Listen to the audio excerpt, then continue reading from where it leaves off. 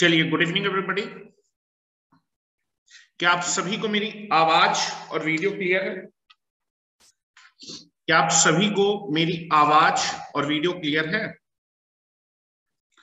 अगर आपको मेरी आवाज और वीडियो क्लियर हो तो इंटीमेट करें तो हम अपने लेक्चर को स्टार्ट कर सकते चलो मेरे ख्याल से सभी को मेरी आवाज और वीडियो क्लियर होगी अपने बेटा वीडियो ओपन कर लीजिए सभी लोग सभी लोग अपने वीडियो को ओपन कर लीजिए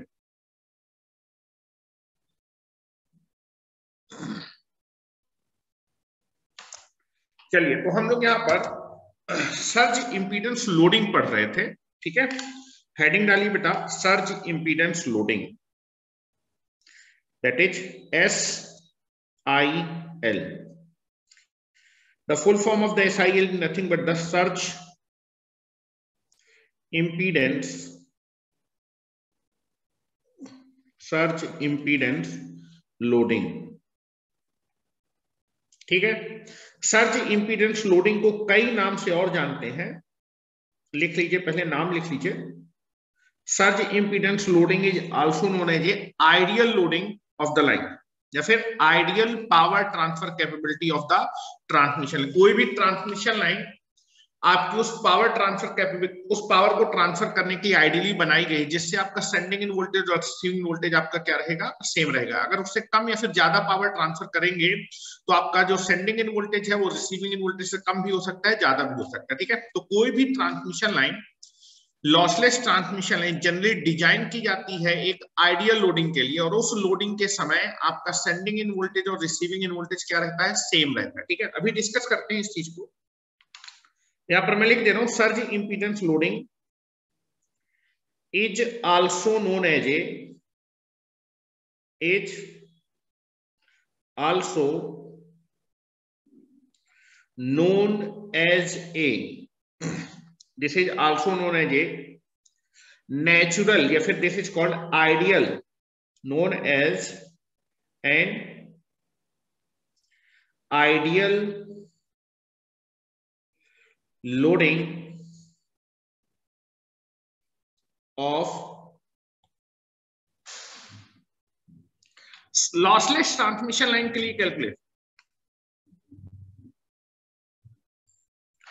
नहीं सोनू बेटा power system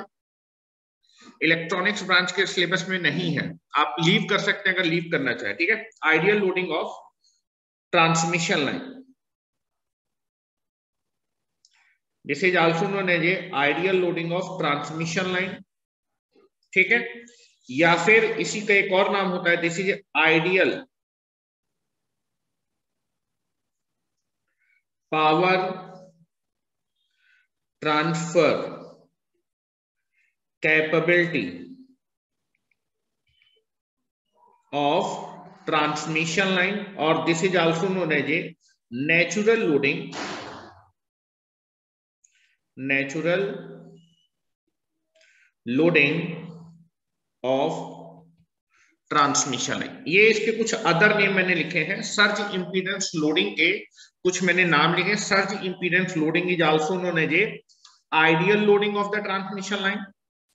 ideal power transfer capability of the transmission line और बेटा natural loading of the transmission ये सारी की सारी चीजें अगर आपसे पूछी जाए मतलब आपसे सर्ज इंपीडेंस लोडिंग पूछ रहा है ठीक है अब मेरी बात सुनिएगा क्योंकि सर्च इम्पीडेंस लोडिंग अभी मैं थोड़ी देर में कैलकुलेट कराऊंगा उससे पहले हम लोग चीजें जो है डिस्कस करेंगे ठीक है पहली चीज क्लियर है कि जो सर्ज इम्पीडेंस लोडिंग कैलकुलेट की जाती है वो लॉसलेस ट्रांसमिशन लाइन के लिए कैलकुलेट की जाती है पहला पॉइंट होना चाहिए कि अगर आपसे सर्ज इंपीडेंस लोडिंग कैलकुलेट करा रहा है तो लाइन कैसी है लॉसलेस ट्रांसमिशन लाइन है ठीक है अब लोडिंग वर्ड का मतलब क्या होता है लोडिंग वर्ड का मतलब होता है पावर से लोडिंग का मतलब होता है किसी भी ट्रांसमिशन लाइन में अगर आप लोडिंग वर्ड बोल रहे हैं कि आपकी ट्रांसफर लाइन हाँ जो पेज छोड़े थे उसी पे लिखना है ठीक है आपका आगे अलग टॉपिक चल रहा है पीछे आपको जो पेज छोड़े थे उसी पे लिखना है ठीक है यहां पर हम बात कर रहे हैं दैट लोडिंग वर्ड जो होगा लोडिंग वर्ड केवल मैं लोडिंग वर्ड की बात कर रहा हूं लोडिंग वर्ड का मतलब होता है पावर ट्रांसफर से कौन सी पावर तीन टाइप की पावर होती है एसी में एक्टिव रिएक्टिव और एपरेंट तो अगर पावर मेंशन नहीं है तो जनरली किस पावर से मतलब होता है एक्टिव पावर से ट्रांसफर होता है ठीक है that is always loading word is related to the power transfer ठीक है और सर्ज इंपीडेंस लोडिंग जो होगा वो एक्टिव पावर ट्रांसफर से होगा ठीक है मैं तो कुछ पॉइंट लिख रहा हूं ठीक है उन पॉइंट को लिखेंगे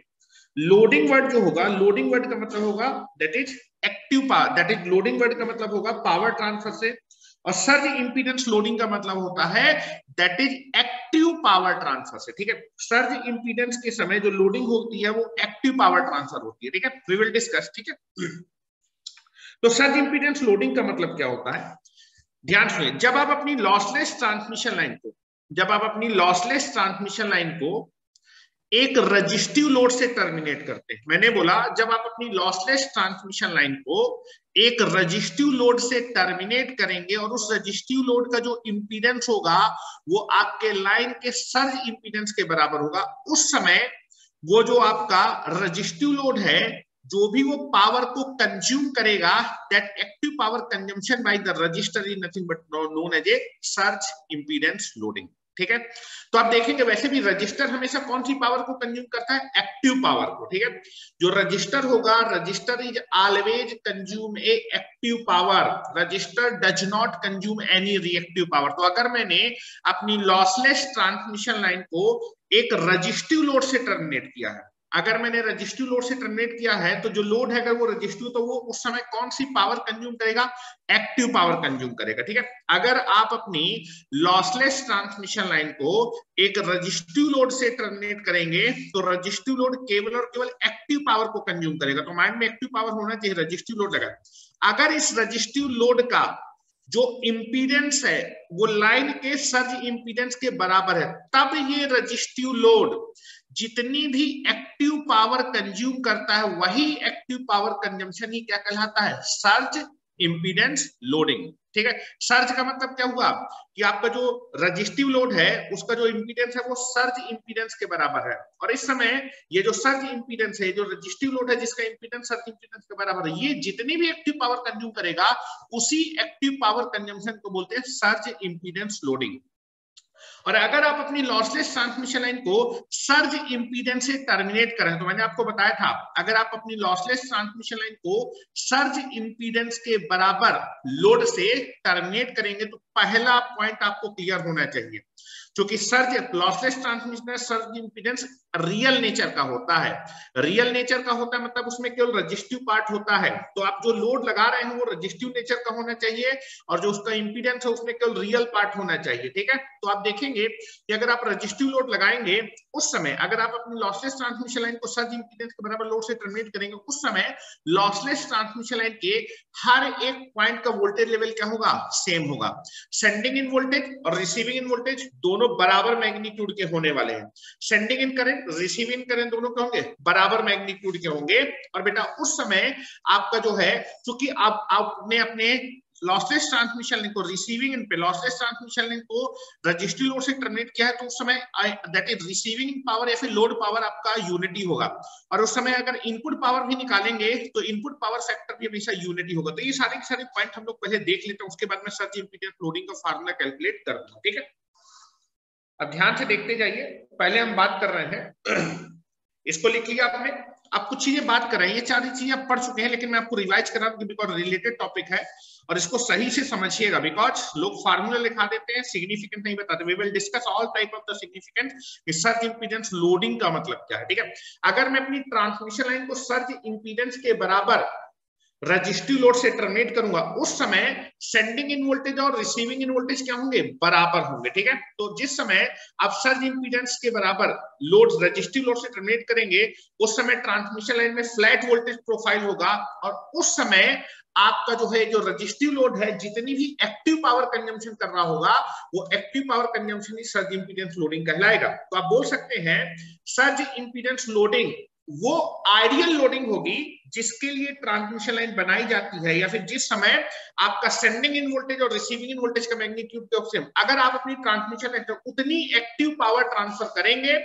उस समय आपका सर्ज इंपीडेंस के बराबर जितनी भी एक्टिव पावर है अगर उतनी पावर ट्रांसफर करेंगे उस समय आपका जो है सेंडिंग इन वोल्टेज और रिसीविंग वोल्टेज क्या होने वाला सेम होने वाला अगर उससे ज्यादा एक्टिव पावर ट्रांसफर करने की कोशिश करेंगे तो sending end voltage receiving end voltage से कम भी हो सकता है और ज्यादा भी हो सकता है फेरेंटी इफेक्ट ऑपर भी हो सकता है और आपका अंडर वोल्टेज भी आ सकता है वी विल डिस्कस ठीक है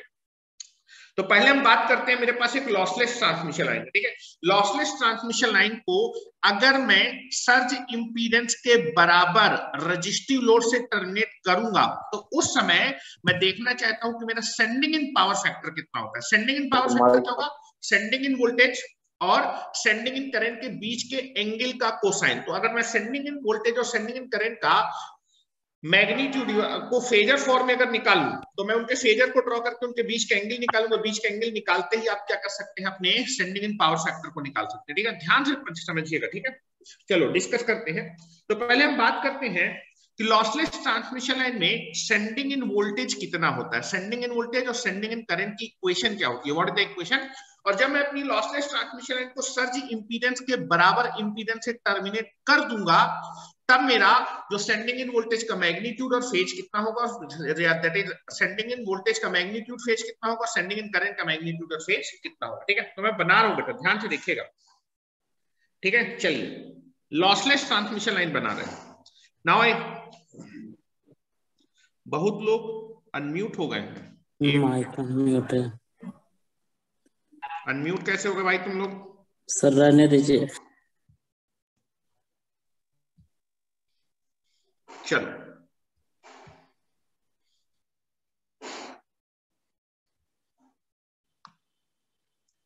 चलिए नाउ तो पहले हम लोग लॉसलेस ट्रांसमिशन लाइन के बारे में बात करते हैं जैसे पहले मैं लाइन डायग्राम बना रहा हूं single line diagram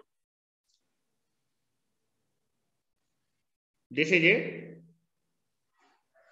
single line diagram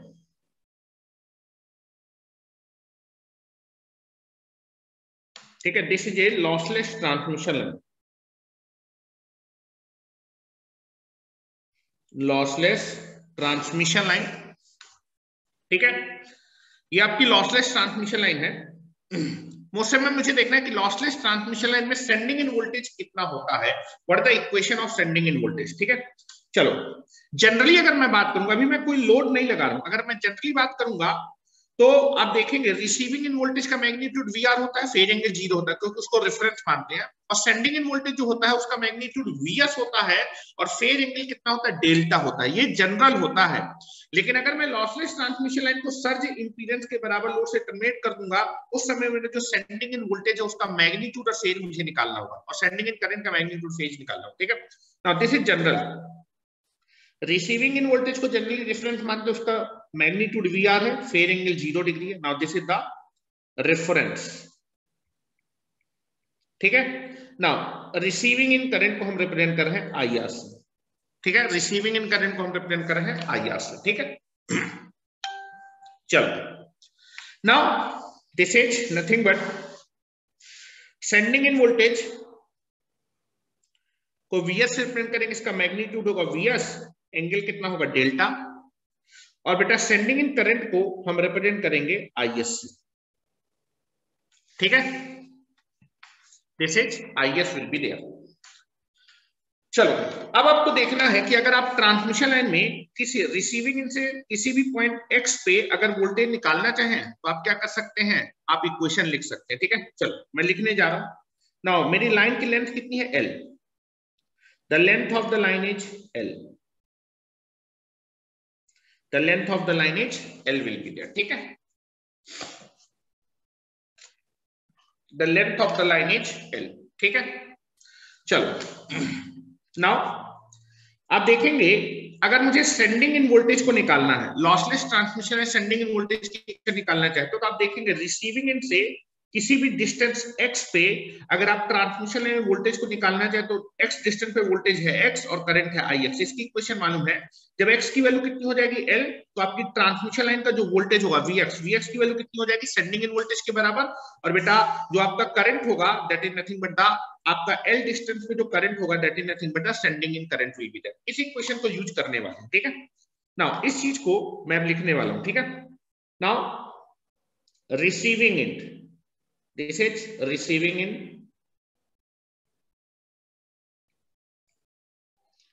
This is receiving in and this is the sending in sending in ध्यान से देखते जाइए receiving in है x इक्वल टू जो भी डिस्टेंस मैं मेजर कर रहा हूँ रिसीविंग इंट से तो रिसीविंग इंट क्या है x इक्वल टू जीरो पे यही से चीजें मेजर कर रहा हूं रिसीविंग इंट से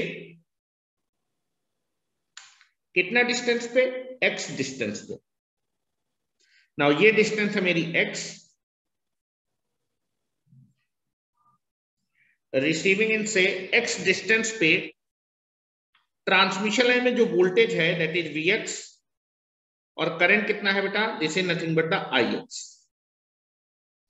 voltage की वैल्यू निकाल सकते हैं लॉसलेस ट्रांसमिशन है तो रिसीविंग इन से एक्स डिस्टेंस पे लॉसलेस ट्रांसमिशन में जो वोल्टेज होगा वीएक्स उसकी वैल्यू कितनी होगी निकाली थी बेटा आप जा पीछे जाके देखें वीएक्स की वैल्यू होगी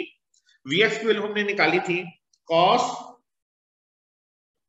beta X into V R plus J Z naught sine beta X into I R आप जाके पीछे देखिए मैंने ये चीज लिखाया है और बेटा रिसीविंग इन से एक्स डिस्टेंस पे आपका जो करंट होगा that current is nothing but the J J sine beta X divided by Z naught into V R plus this is cos beta X into I R मैं दिखा भी देता हूं this is the equation in lossless transmission line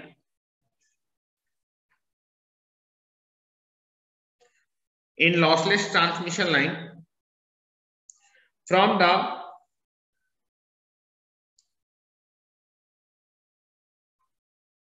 distance x from the receiving end. The voltage, the voltage Vx, the voltage Vx and current Ix is given by the equation. Given by the equation ये equation है ये general equation है तो अगर आप lossless charge मैं दिखा भी देता हूं आपको पहले इतना लिख लीजिए फिर मैं आपको ये चीज दिखा देता हूं कि आप ये इक्वेशन प्रूव कर सकते हैं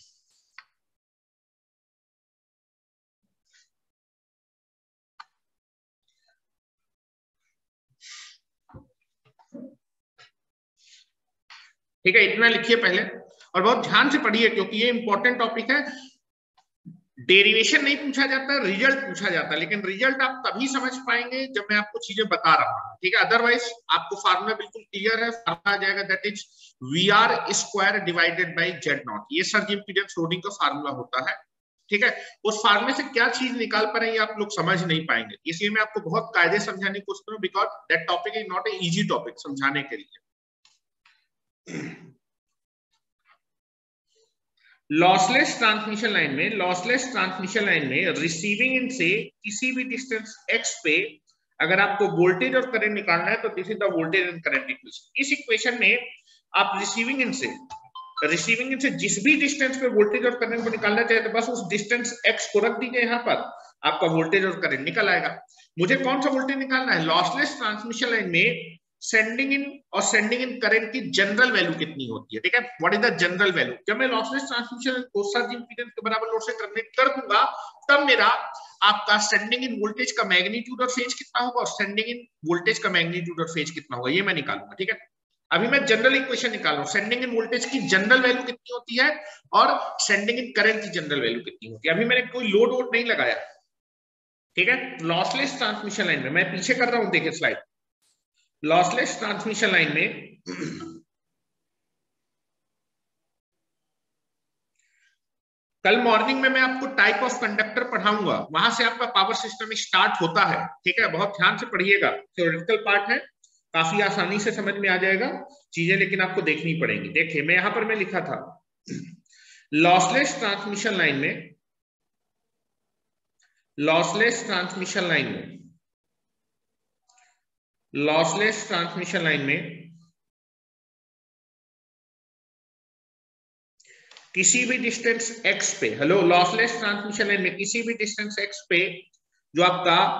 वोल्टेज और करंट की वैल्यू होती है वोल्टेज आपका रिसीविंग एंड से डिस्टेंस पे जो वोल्टेज होगा cos beta X V R plus J Z naught sine beta X into I R और बेटा जो करंट होगा रिसीविंग से किसी भी डिस्टेंस एक्स पे j sin beta x z naught into vr plus cos beta x into ir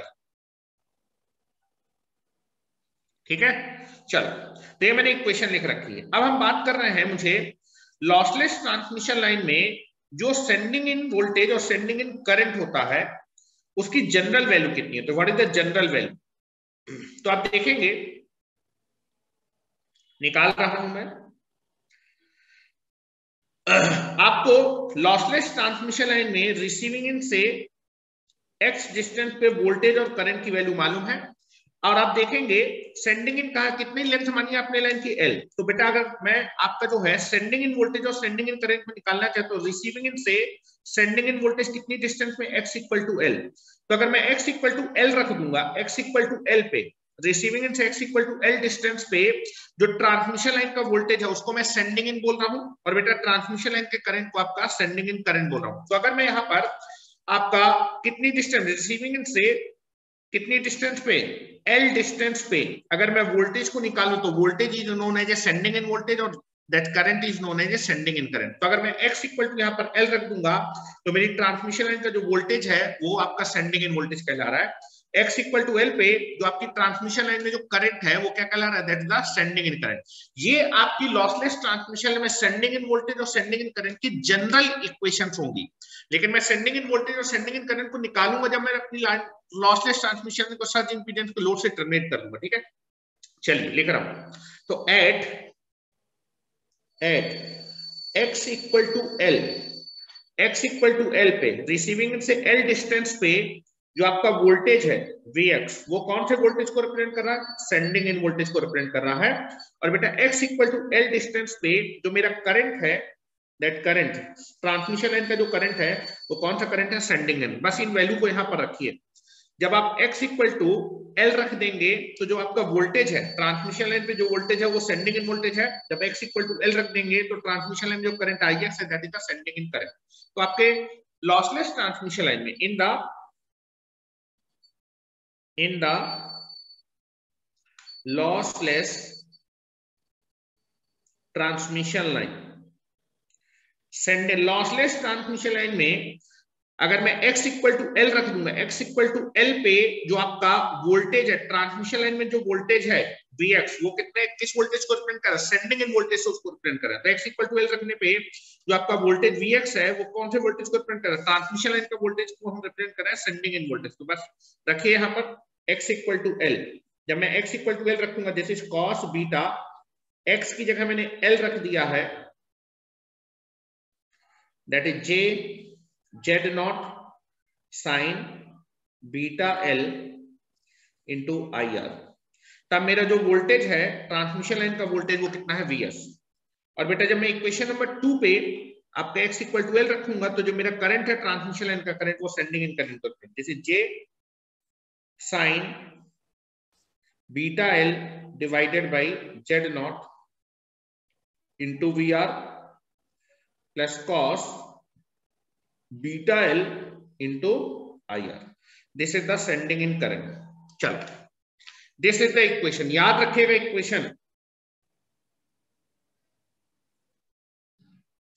अब तो ये आपको इक्वेशन मालूम चले तभी भी कोई पूछे कि लॉसलेस ट्रांसमिशन लाइन में लॉसलेस ट्रांसमिशन लाइन में सेंडिंग इन वोल्टेज और सेंडिंग इन करंट की वैल्यू बताओ तो सेंडिंग इन वोल्टेज कितना होता है जनरली वैल्यू कितनी होती है cos beta L into vr plus j z not sin beta l into ir I R और बेटा जो सेंडिंग इन करंट होता है that is J sine beta L divided by Z naught into V R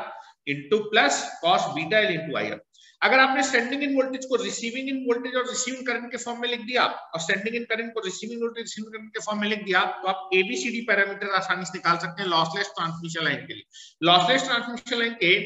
ABCD parameter निकालने के लिए sending इन voltage को receiving इन voltage और रिसीविंग करंट के फॉर्म पे लिखना है और बेटा जो वीआर का क्वेश्चन होगा वो ए पैरामीटर होगा और आईआर का क्वेश्चन बी पैरामीटर होगा सेंडिंग इन करंट को अगर आपने रिसीविंग इन वोल्टेज और रिसीविंग करंट के फॉर्म पे लिख दिया तो वीआर का क्वेश्चन सी पैरामीटर होगा बेटा आईआर का क्वेश्चन डी पैरामीटर तो एबीसीडी पैरामीटर भी आप लॉसलेस ट्रांसमिशन लाइन के बता सकते हैं इससे पहले जो मैंने निकलाए थे वो लॉन्ग ट्रांसमिशन लाइन के लिए निकलाए थे ये फार्मूला याद नहीं करना मैं भी अब चीजें समझा रहा हूं आपको ठीक है समझते जाइए सर्च इंपीडेंस लोडिंग के फार्मूले आपको याद करने ठीक है ये मेरे जनरल फार्मूले हैं लॉसलेस ट्रांसमिशन लाइन में सेंडिंग इन वोल्टेज और सेंडिंग इन करंट के फार्मूले आपको मालूम है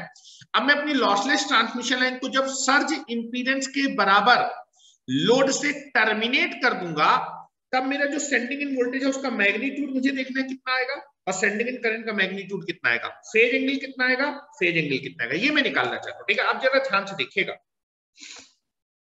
अब मैं अपने लॉसलेस ट्रांसमिशन लाइन को सर्ज इंपीडेंस के बराबर लोड से टर्मिनेट करने वाला सर्ज इंपीडेंस पहले तो आपको क्लियर होना चाहिए क्या होता है surge impedance lossless transmission line का जो सर्ज इंपीडेंस होता है वो रियल होता है under root L by C real part impedance में रियल पार्ट है तो आप उसको किस लोड से रिप्रेजेंट कर सकते हैं किस एलिमेंट से रजिस्टिव एलिमेंट से रिप्रेजेंट करते हैं ठीक है तो अगर मैं अपनी लॉसलेस ट्रांसमिशन लाइन को सर्ज इंपीडेंस के बराबर लोड से टर्मिनेट कर रहा हूं तो जो लोड होना चाहिए वो सर्ज इंपीडेंस के बराबर मतलब नेचर भी सेम होना चाहिए इम्पीडेंस की नेचर मतलब रजिस्टिव लोड लगाना है तो आप अगर अपने लॉसेस ट्रांसमिशन लाइन को एक रजिस्टिव लोड से टर्मिनेट करें जिसका इम्पीडेंस सर्च इम्पीडेंस के बराबर हो लाइन के सर्ज इम्पीडेंस के बराबर के, के बराबर हो तो दैट इज द आपकी lossless transmission is terminated with the surge impedance ठीक है चलो मैं लिख रहा हूं अब मैं क्या कर रहा हूं हो गया ना आगे चल रहे हैं जब आप अपनी लॉसलेस ट्रांसमिशन लाइन को सर्ज इंपीडेंस के बराबर रजिस्टिव लोड से टर्मिनेट करते हैं उस समय सेंडिंग इन वोल्टेज और सेंडिंग इन करंट का मैग्नीट्यूड से देखना मैंने आपको बता रखा है अगर आप अपनी लॉसलेस ट्रांसमिशन लाइन को सर्ज इंपीडेंस के बराबर लोड से टर्मिनेट करेंगे तो पूरी की पूरी लाइन में पूरी की पूरी लाइन में हर एक पॉइंट पे वोल्टेज की वैल्यू क्या होगी सेम होगी और जो वोल्टेज होगा हर एक पॉइंट में वोल्टेज रिसीविंग वोल्टेज के बराबर होगा ठीक है sending end voltage receiving voltage के बराबर होगा और जो आपका करंट होगा हर एक पॉइंट पे जो करंट होगा वो रिसीविंग करंट के बराबर होने वाला है ठीक है लेकिन फेज एंगल देखना है छूट गया सर क्या छूट गया बेटा चलो लिखना स्टार्ट करें चलो now now the lossless loss less transmission line is terminated with the load with the load equal to the surge impedance of the transmission line ठीक है आप अपने लॉसलेस ट्रांसमिशन लाइन को आप टर्मिनेट कर रहे हैं एक लोड से वो लोड आपकी ट्रांसमिशन लाइन के सर्ज इंपीडेंस के बराबर है ठीक है ना चलो ये मेरे पास एक लॉसलेस ट्रांसमिशन अब देखना है चीज ये मेरे पास एक लॉसलेस ट्रांसमिशन लाइन है जिसे lossless transmission line lossless transmission line का जो सर्च इंपीडेंस होता है उसको जेड नॉट से प्रिंट करते हैं और बेटा इसकी वैल्यू कितनी होती है under root L by C practical अगर कोई वैल्यू नहीं देगी तो बाई डिफॉल्ट कितना होता है ये 400 हंड्रेड ओम होता है तो आपको दिख रहा होगा कि जो सर्च इंपीडेंस है ये जो इंपीडेंस है इसमें केवल कौन सा पार्ट है रियल पार्ट है रियल पार्ट है तो इसको किस एलिमेंट द्वारा रिप्रेजेंट करेंगे रजिस्टर द्वारा तो दैट इज ये पहली चीज क्लियर होनी चाहिए कि सर्ज इंपीडेंस रियल नेचर का होता है surge impedance is real in nature और अगर ये रियल नेचर का तो आप किस एलिमेंट से रिप्रेजेंट कर सकते हैं resistive element and represented represented by the resistive element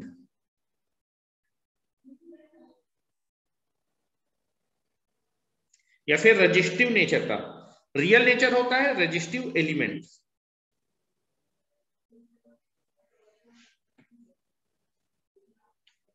ठीक है तो पहली चीज क्लियर होनी चाहिए कि लॉसलेस ट्रांसमिशन लाइन है लॉसलेस ट्रांसमिशन लाइन को टर्मिनेट करना है किससे किस कैसे लोड से टर्मिनेट करना है लाइन के सर्ज इंपीडेंस क्योंकि लाइन का सर्ज इंपीडेंस रियल होता है हेलो यहां पर जो मैं लोड लोड लगाऊंगा उसका जो इंपीडेंस होगा उसमें रियल पार्ट होना चाहिए रियल पार्ट अगर होगा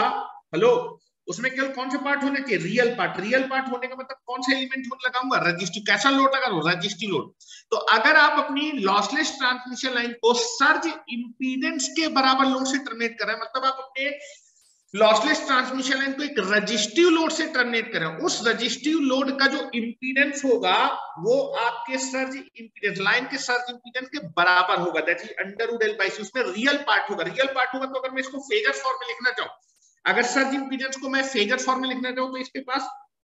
इसका मैग्नीट्यूड होगा अंडरवुड एल बाई सी और फेज एंगल कितना होगा जीरो डिग्री ठीक है अब मैं अपनी लॉसलेस ट्रांसमिशन लाइन को सर्ज इंपीडेंस के बराबर लोड से टर्मिनेट करो सर्ज इंपीडेंस सर्ज इंपीडेंस के बराबर लोड से टर्मिनेट करने मतलब रजिस्टिव लोड से टर्मिनेट कर रहा हूं I can be connected a resistive load this is a load ये जो लोड है इसका जो इम्पीडेंस होगा ध्यान से देखिए जो लोड का जो इम्पीडेंस है वो क्या होगा बेटा सर्ज इम्पीडेंस के बराबर लोड का जो इम्पीडेंस है लोड का जो इम्पीडेंस है वो कितना रखा सर्ज इम्पीडेंस अब सर्ज इम्पीडेंस जो देखेंगे वो अगर मैं इसको लिखना चाहूं अगर मैं पोलर इसको मैं रेक्टेंगुलर फॉर्मेट में लिखना चाहूं रेक्टेंगुलर फॉर्मेट तो रियल पार्ट होगा इसमें हेलो इसकी जो वैल्यू होगी this is nothing but the जो सर्च इंपीडेंस होगा इस इंपीडेंस में केवल रियल पार्ट होगा कौन सा पार्ट होगा रियल पार्ट ठीक है और बेटा इसकी वैल्यू बाय डिफॉल्ट कितनी होती है 400 होती नहीं दी तो 400 मान के चलेगी ये कितना होगा इसका जो इंपीडेंस होगा जब मैं उसको रेक्टेंगुलर फॉर्मेट में लिखूंगा तो उसमें केवल रियल पार्ट आएगा this is approximately equal to 400 ohm तो अगर मैं इसको पोलर फॉर्मेट में तो मैग्नीट्यूड तो बेटा इसका आएगा 400 एंगल कितना आएगा जीरो तो अगर मैं इसको लिखना चाहूँ जी इंपीडेंस को फेजर फॉर्म में तो इसका मैग्नीट्यूड जेड नॉट होगा और फेज एंगल जीरो डिग्री होगा रजिस्टिव लोड है रियल पार्ट होगा जैसे मान लो एक पांच ओम का रजिस्टर उसका इंपीडेंस भी पांच ही ओम आएगा तो जब मैं उसको लिखूंगा फेजर फॉर्म में तो दैट इज द मैग्नीट्यूड होगा फास्ट एंगल होगा जीरो डिग्री तो इमेजनरी पार्ट जीरो होगा ठीक है चलो तो मैं इसको लिख सकता हूं ठीक है रजिस्ट्री लोड लगा दिया और ये जो रजिस्ट्री लोड है वो लाइन के सर्ज इंपीडेंस के बराबर है ठीक है ध्यान से देखिएगा अब मैं बात कर रहा हूं उस समय मुझे देखना है जब आप अपनी लॉसलेस ट्रांसमिशन लाइन को सर्ज इंपीडेंस के बराबर लोड से टर्मिनेट करते हो उस समय मुझे सेंडिंग इन वोल्टेज का मैग्नीट्यूड फेज निकालना है सेंडिंग इन करेंट का मैग्नीट्यूड और फेज निकालना है ठीक है वो मैं निकालने जा रहा हूं ध्यान से देखिएगा चलो रिसीविंग इन वोल्टेज के बारे में बात करते हैं रिसीविंग वोल्टेज को रेफरेंस मानते हैं that is magnitude V R angle zero degree this is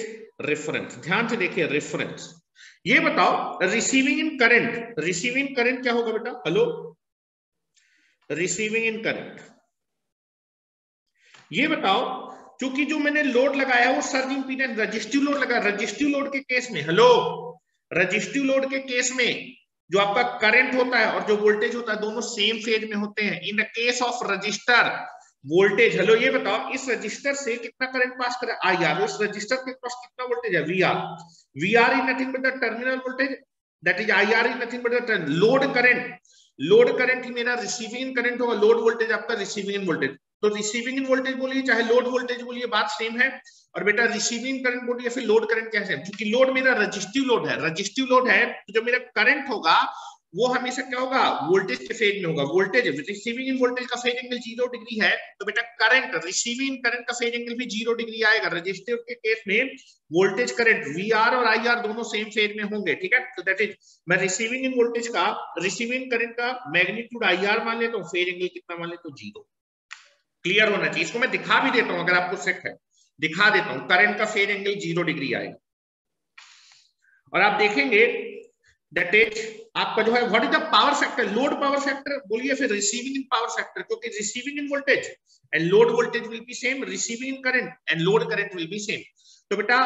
load voltage और लोड करंट लोड वोल्टेज क्या है वी आर लोड करंट क्या है आई आर इन दोनों के बीच का जो एंगल होगा उसी एंगल का कोसाइन क्या होगा पावर फैक्टर दोनों सेम फेज में तो पावर फैक्टर cos 0 डिग्री होगा that is cos 0 degree that is unity power factor resistor के केस में पावर फैक्टर यूनिटी होता है ठीक है चलो मैं इस चीज को आपको यहां पर दिखा भी देता हूं अगर मैं लिखना चाहूं that is current receiving end current receiving end current का मैग्नीट्यूड मैंने माना है I R fair zero degree होगा कैसे लिखेंगे बेटा रिसीविंग इन करंट क्या होगा दैट करंट जैसे ही आपने लोड लगाया तो करंट फ्लो करेगा करंट क्या होगा voltage what is the voltage across the load that is receiving end के क्रॉस वोल्टेज ये वी है तो लोड के क्रॉस वोल्टेज कितना होगा वी एंगल कितना होगा लोड का impedance voltage divided by impedance load का इम्पीडेंस कितना है जेटल ठीक है चलो इसको रेफरेंस माना V R angle zero degree ये बताओ जो लोड का इंपीडेंस है वो किसके बराबर सर्ज इंपीडेंस के बराबर जैसे जेड नॉट सर्ज इंपीडेंस जो होगा वो रियल क्वांटिटी होगी जेड नॉट कैसी क्वांटिटी होगी रियल क्वांटिटी होगी तो इसका जो मैग्नीट्यूड होगा उसको मैं जेड नॉट बोल देता हूँ और फेज एंगल कितना होगा जीरो डिग्री अगर रियल पार्ट है तो आपका इमेजरी पार्ट जीरो होगा इमेजरी डिवाइडेड बाई रियल होता है इमेजरी पार्ट जीरो तो आपका फेज एंगल भी जीरो डिग्री आएगा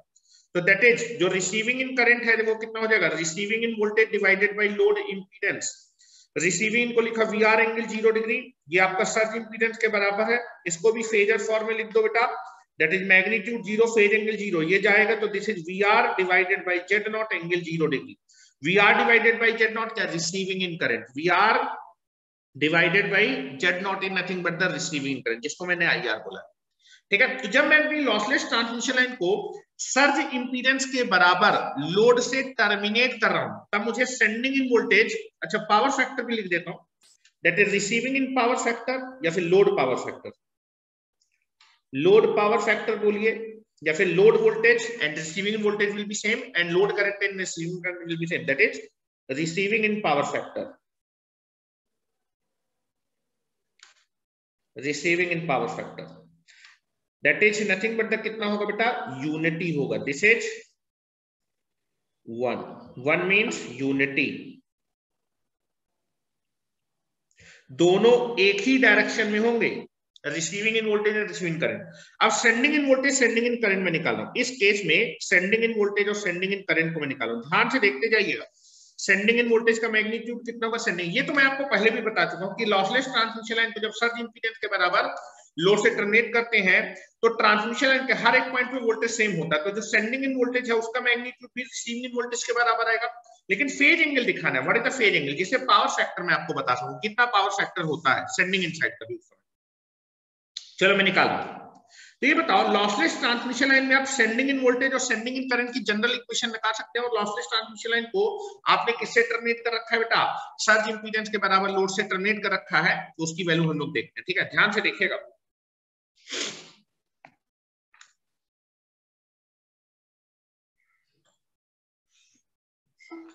इतना बना लिया चलो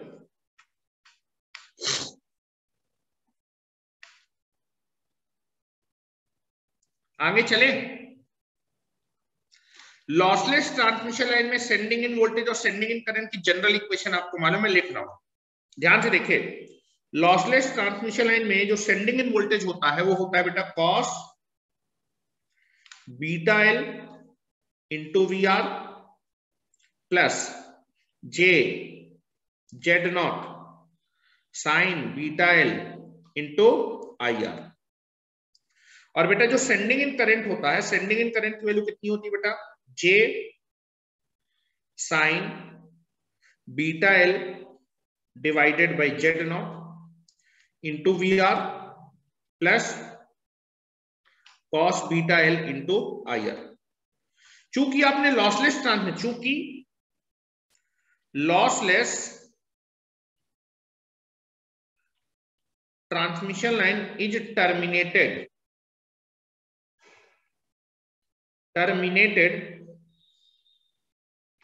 with a load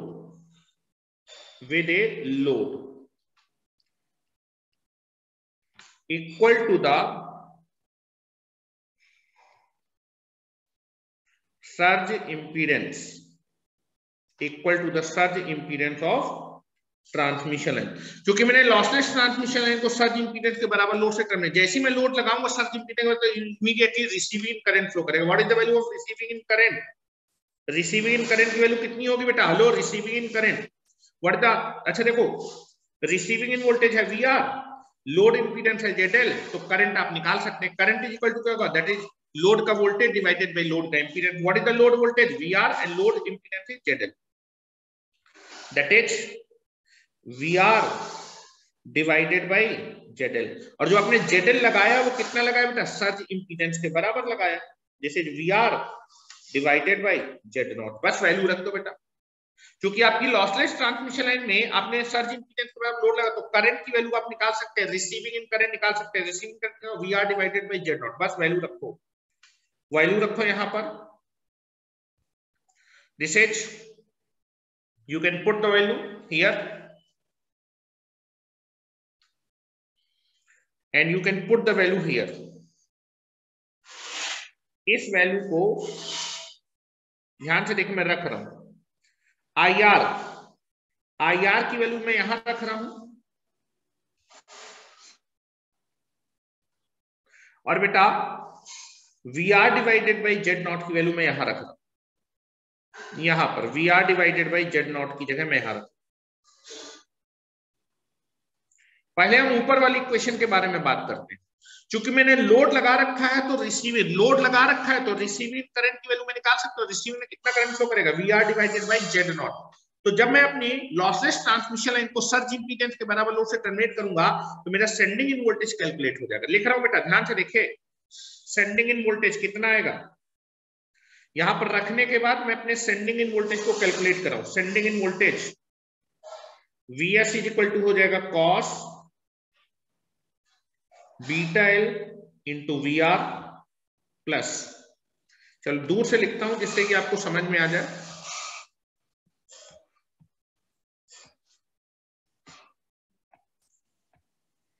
चलो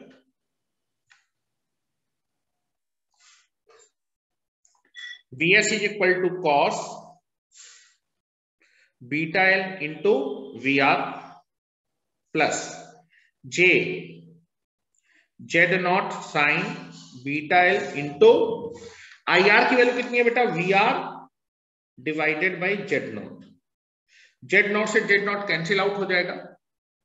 नाउ दिस इज यहां से बेटा वी आर आपका कॉमन है वी आर आपने कॉमन ले लिया और यहां पर बचेगा बेटा cos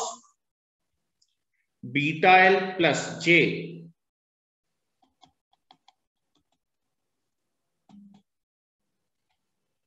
this is S sending end voltage जो होगा जब आप लोड से टर्मिनेट करेंगे सर्ज इंपीडेंस के बाद लोड से टर्मिनेट करेंगे तब मैं सेंडिंग इन वोल्टेज निकाल रहा हूं लॉसलेस ट्रांसमिशन में sending end voltage V R plus J sine beta L into V R यहां से आप वी आर कॉमन ले लीजिएगा और वी आर कॉमन लेंगे तो आएगा cos beta L plus J sine beta L that is sending end voltage in nothing but V R और इसको लिख सकते हैं ई की power hello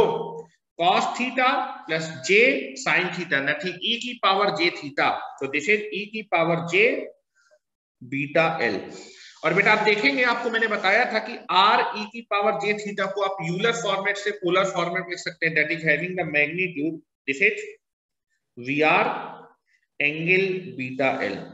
और आप देखेंगे आपको सेंडिंग इन वोल्टेज का मैग्नीट्यूड फेज निकालना है तो ये बेटा आपका पोलर फॉर्मेट में आप इसको लिख दीजिए वी आर का मैग्नीट्यूड मालूम है फेज एंगल मालूम है तो दिस इज रिटर्न है जे रिसीविंग इन वोल्टेज का मैग्नीट्यूड वी आर है फेज एंगल जीरो डिग्री है Now this is one angle beta L. तो सेंडिंग इन वोल्टेज आपका आ जाएगा V R angle beta L this is the sending end voltage sending end voltage का magnitude receiving इन voltage के बराबर हो कितने एंगल पे है वो रेफरेंस है रिसीविंग इन वोल्टेज से कितने एंगल पे बीटा एल के एंगल पे है पॉजिटिव एंगल है एंटी क्लॉकवाइज डायरेक्शन लिख रहा हूं अभी मैं फेजर भी बना के दिखा रहा हूं आपको बिल्कुल क्लियरली आपको चीजें दिखनी चाहिए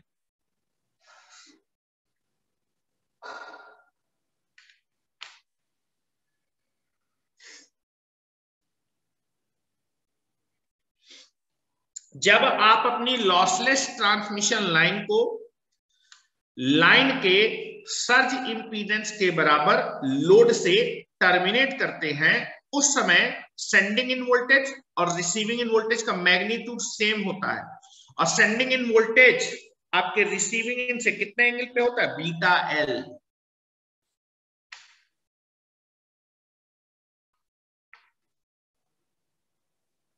ठीक है यहां लिख रहा हूं जाके फिगर में जाके लिखें फिगर में जाके लिखना है जिस समय आप अपनी लॉसलेस ट्रांसमिशन लाइन को सर्ज इंपीडेंस सर्ज इंपीडेंस का मतलब है रजिस्टिव लोड से टर्मिनेट करना सर्ज इंपीडेंस जब भी मैं बोलूं तो रजिस्टिव लोड माइंड में आने रजिस्टिव लोड से टर्मिनेट कर रहा हूं जिसका इंपीडेंस लाइन के सर्ज इंपीडेंस के बराबर उस समय जो सेंडिंग इन वोल्टेज है उसका मैग्नीट्यूड कितना होगा रिसीविंग इन वोल्टेज के बराबर होगा और फेज एंगल कितना होगा beta L this is beta L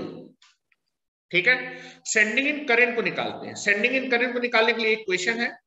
और बेटा चूंकि लोड लगा रखा है करंट फ्लो करेगा तो V R divided by Z naught की जगह हम क्या लिख सकते हैं V R divided by Z naught की जगह आई आर लिख सकते हैं इस वैल्यू पे हम पुट करें सेंडिंग इन करंट निकालने जा रहा हूं सेंडिंग इन करंट जैसे J sine beta L into V R divided by Z naught plus this is cos beta L into I R इसकी जगह ये वैल्यू रख रहा हूं ध्यान से देखिए ये वैल्यू रख रहा हूं बेटा now this value you can be put here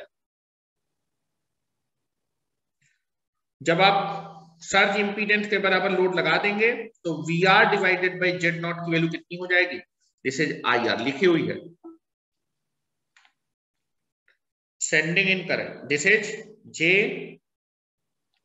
sine beta L into this is I R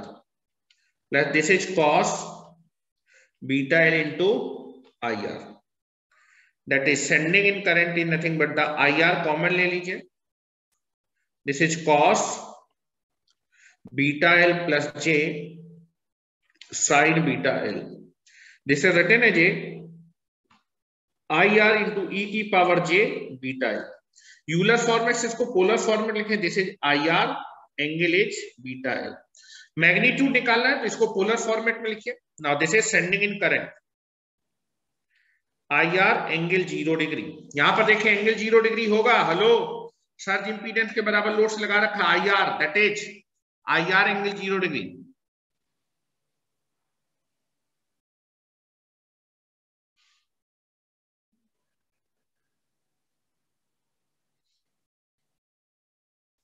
this is now this is I R क्या है I angle zero degree now this is one angle beta L तो this is nothing but the I R angle beta L तो this is the sending end current जब आप अपनी lossless transmission line को surge impedance के बराबर load से terminate कर देंगे उस समय जो सेंडिंग इन करंट का मैग्नीट्यूड होगा वो रिसीविंग इन करंट के मैग्नीट्यूड के बराबर होगा लेकिन कितने फेज एंगल पे होगा beta L This is the beta L.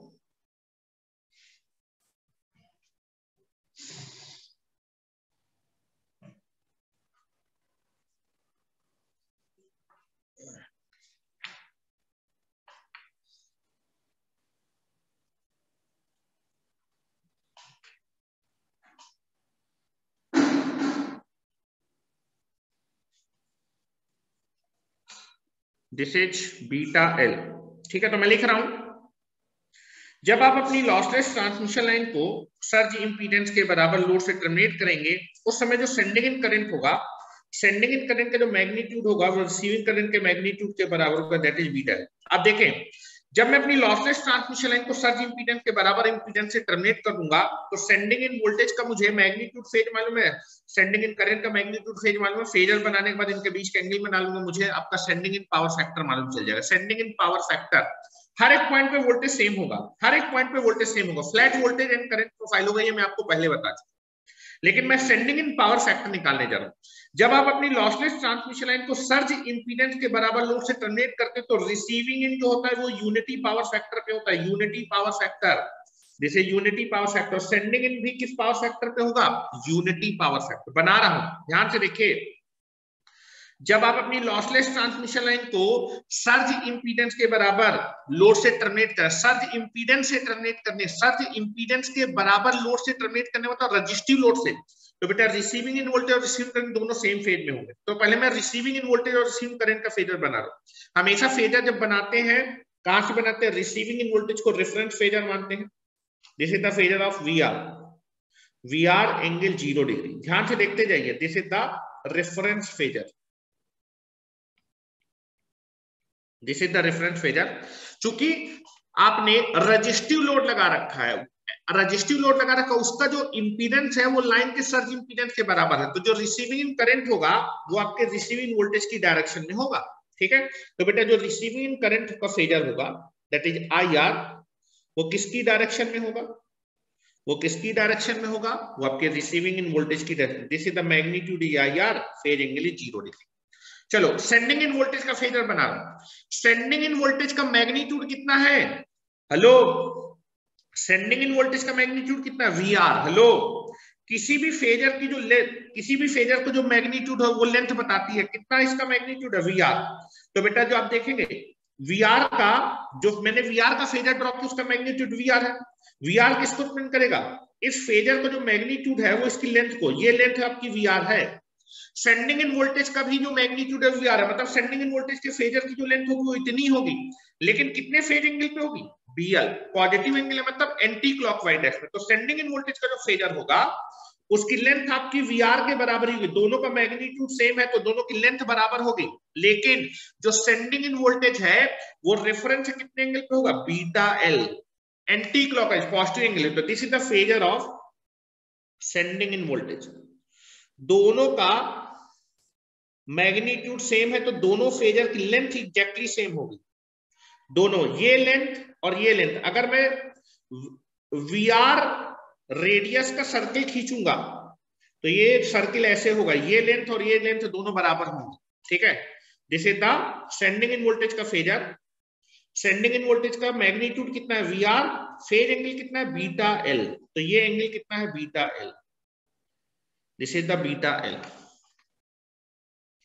hello और अगर आप जो है वी आर रेडियस का सर्किल खींचे सर्किल वी आर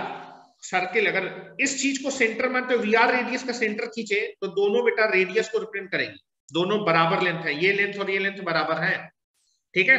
चलो सेंडिंग इन करंट का मैग्नीट्यूड कितना है आई आर तो बेटा I R receiving end current और सेंडिंग इन करंट का मैग्नीट्यूड सेम है तो रिसीविंग करंट और सेंडिंग इन करंट के फेजर की लेंथ क्या होगी सेम रिसीविंग इन करंट और सेंडिंग इन करंट के फेजर की लेंथ सेम होगी लेकिन जो आपका सेंडिंग इन करंट है वो रेफरेंस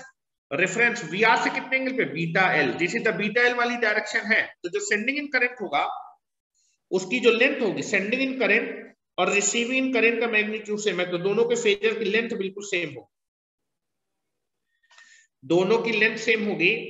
लेकिन जो सेंडिंग इन करंट होगा वो रेफरेंस कितने एंगल पे beta L this is the phasor of sending end current दिख रहा होगा बीटा एल हेलो अगर मैं देखना चाहूं तो ये दोनों लेंथ वाइज हेलो ये दोनों लेंथ वाइज अगर मैं बेटा आई आर रेडियस का सर्किल खींचू आई आर रेडियस का सर्किल खींचू आई आर रेडियस का सर्किल खींचू तो ये दोनों बिल्कुल एग्जैक्ट सेम है और बेटा अगर वी आर रेडियस का सर्किल खींचूंगा तो ये दोनों बिल्कुल एग्जैक्टली सेम है ये दोनों मैं लेंथ वाइज क्या है सेम है तो आपको देख रहा होगा आपने सेंडिंग इन वोल्टेज का फिगर ड्रॉ कर रखा है सेंडिंग इन करंट का फिगर इनके बीच का एंगल कितना है what the angle between the sending end voltage और सेंडिंग इन करंट दोनों के बीच का एंगल जीरो डिग्री है तो वीएस और आईएस के बीच के एंगल का cosine that is nothing but the power factor what is the power factor unity power factor sending end power factor भी यूनिटी पावर फैक्टर पे होगा लिख रहा हूं that is the angle between VS and IS जिसको हम phi S से represent करते थे sending end power factor angle कितना होगा zero degree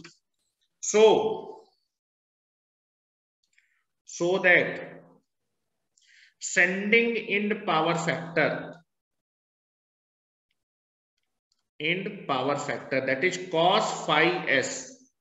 is a nothing but the cos 0 degree that is 1 this is the unity power factor unity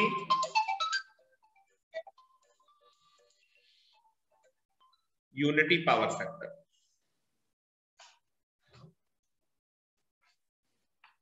this is the unity power factor पहली चीज ये जो point है जो मैं लिखा रहा हूं एग्जामिनेशन में पूछे जाते हैं कि लॉसलेस ट्रांसमिशन लाइन को जब आप सर्ज इंपीडेंस के बराबर लोड से टर्मिनेट करते हैं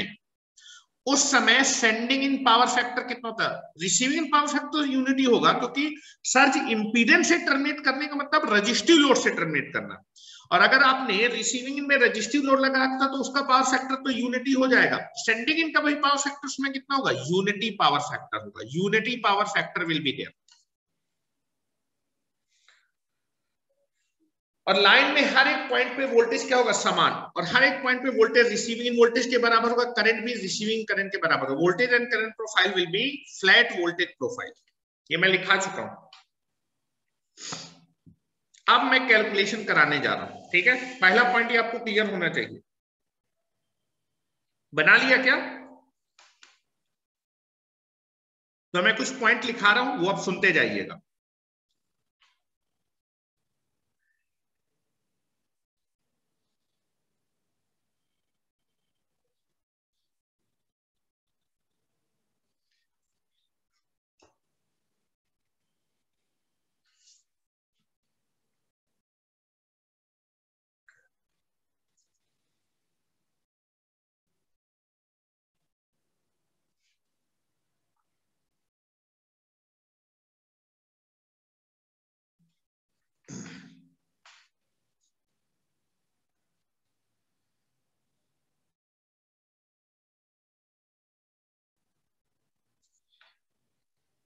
चलो यहां भी फिगर में लिख लीजिए that is sending end power factor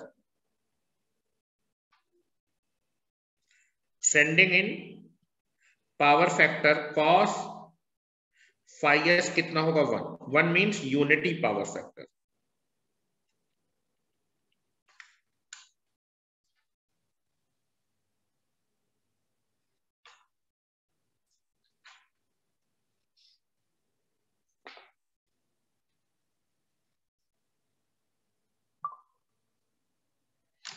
पहली चीज क्लियर हुई कि जिस समय मैं अपने लॉसलेस ट्रांसमिशन लाइन को सर्च इंपीडेंस के बराबर लोड से टर्मिनेट करूंगा उस समय लाइन में सेंडिंग इन वोल्टेज और रिसीविंग इन वोल्टेज बराबर होंगे ये बिल्कुल माइंड में सेट होना चाहिए अगर आप अपनी लॉसलेस ट्रांसमिशन लाइन को सर्ज इंपीडेंस के बराबर लोड से टर्मिनेट कर रहे हैं उस समय आपका सेंडिंग इन वोल्टेज और रिसीविंग इन वोल्टेज बिल्कुल एग्जैक्ट सेम होंगे और उस समय रिसीविंग इन पावर और आपका सेंडिंग इन पावर दोनों यूनिटी पावर फैक्टर के होंगे ठीक है लिख रहा हूं तो नोट कर पहले पहले कुछ पॉइंट लिखे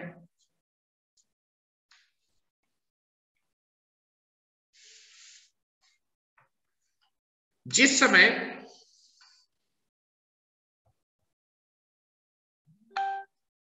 जिस समय लॉस लेस ट्रांसमिशन लाइन को सर्ज ट्रांसमिशन लाइन को लाइन के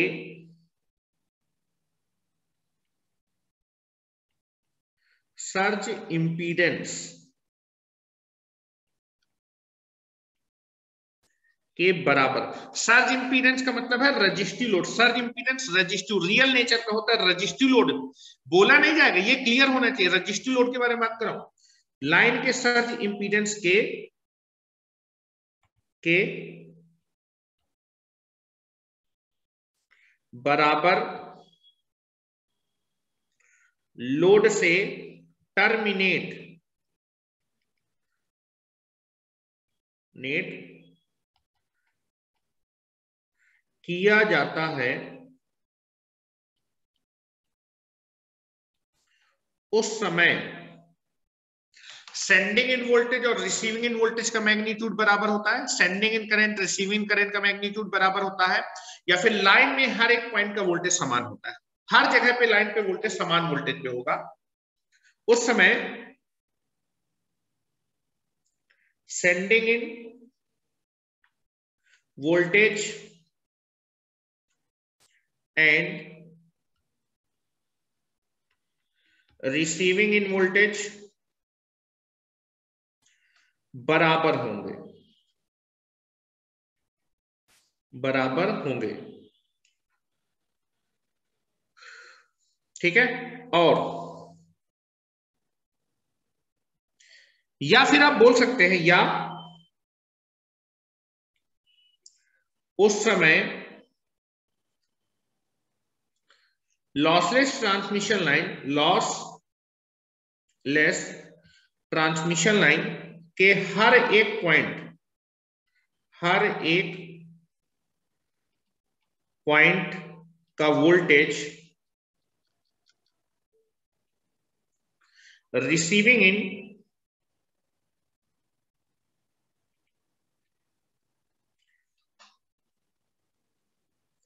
वोल्टेज के बराबर होगा अगर लाइन के throughout the length voltage समान है तो ऐसे वोल्टेज प्रोफाइल को क्या बोलते हैं फ्लैट वोल्टेज उस समय लाइन फ्लैट वोल्टेज प्रोफाइल होगी दैट टाइप ऑफ लाइन अगर हर जगह पे वोल्टेज समान है तो वोल्टेज का प्रोफाइल कैसा है फ्लैट है ऐसी लाइन को बोलते हैं फ्लैट लाइन या फिर मैच्ड लाइन या फिर आपका that is also known as a tuned line ठीक है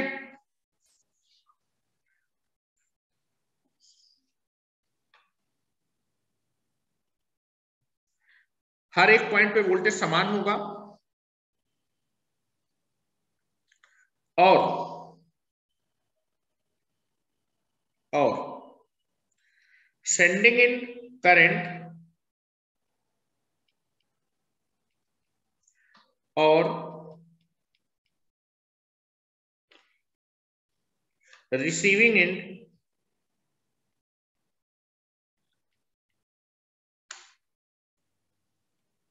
यहां वोल्टेज लिख लीजिएगा वोल्टेज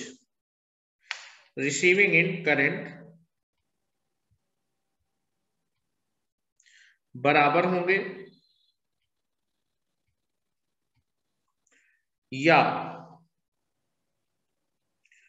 उस समय लॉसलेस ट्रांसमिशन लाइन के हर एक पॉइंट का करंट हर एक पॉइंट में करंट हर एक पॉइंट में current receiving end end current के बराबर होगा ठीक है ऐसी लाइन को flat voltage and current profile line बोलते हैं ऐसी जब आप अपनी लॉसलेस ट्रांसमिशन लाइन को लाइन के सर्ज इंपीडेंस के बराबर लोड से टर्मिनेट कर देंगे उस समय lossless transmission line is known as a flat voltage and current profile and that line is also known as a matched line या फिर इनफाइनाइट लाइन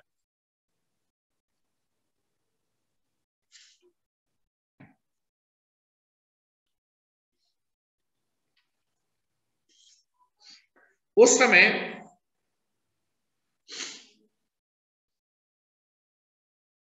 बराबर होंगे उस समय उस समय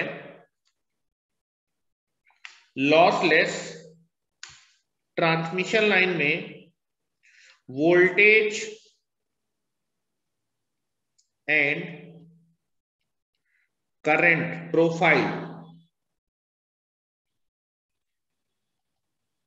flat होंगे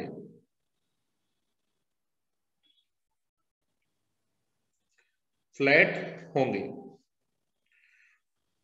और उस टाइम पे lossless transmission line flat line या फिर मैचड लाइन या फिर इनफाइनाइट लाइन कहलाती है और उस समय लॉसलेस ट्रांसमिशन लाइन को फ्लैट लाइन और मैच्ड लाइन मैच लाइन का मतलब लॉसलेस ट्रांसमिशन लाइन को लाइन के सर्च इंपीडेंस के बराबर लोड से मतलब लोड और लाइन का इंपीडेंस मैच कर रहे हैं दोनों बराबर है मैक्सिमम पावर ट्रांसफर थ्योरम की तरह आप मान सकते हैं कि लोड इंपीडेंस और लाइन का सर्ज इंपीडेंस मैच कर रहा है तो that is called match line और इनफाइनाइट लाइन इनफाइनाइट लाइन कहते हैं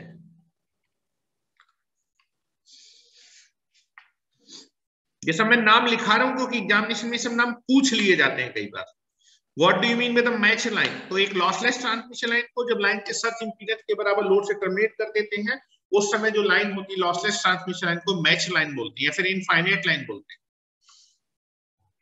और इस समय sending end and receiving end power factor unity होगी और और इस समय लॉसलेस ट्रांसमिशन लाइन में sending end and receiving end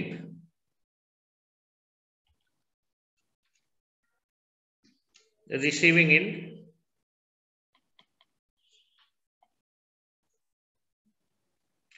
unity power factor पे होंगे यूनिटी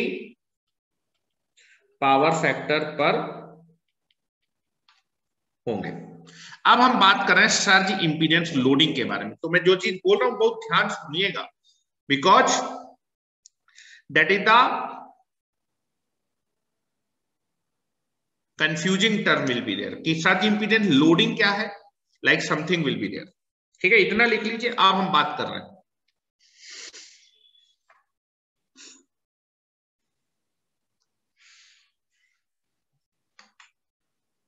लाइन को सर्ज इंपीडेंस से टर्मिनेट करने का मतलब रजिस्ट्री लोड से रजिस्ट्री लोड को एक्टिव पावर का डिमांड होता है ठीक है तो मैं डेफिनेशन लिखने वाला हूं फ्लैट लाइन का मतलब होता है कि वोल्टेज और करंट दोनों के प्रोफाइल फ्लैट है एक जगह हर वोल्टेज हर एक पॉइंट पे वोल्टेज और करंट बराबर है पीछे देखो यार लिखा हुआ है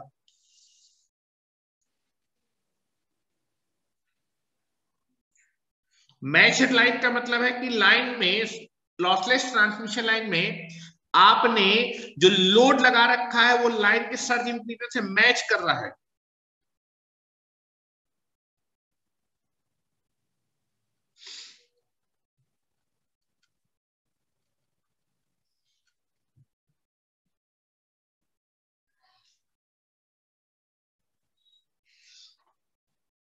जब भी आप सर्ज इंपीडेंस के बराबर लोड से टर्मिनेट करेंगे उस समय receiving end voltage receiving end current आपके सेम फेज में होंगे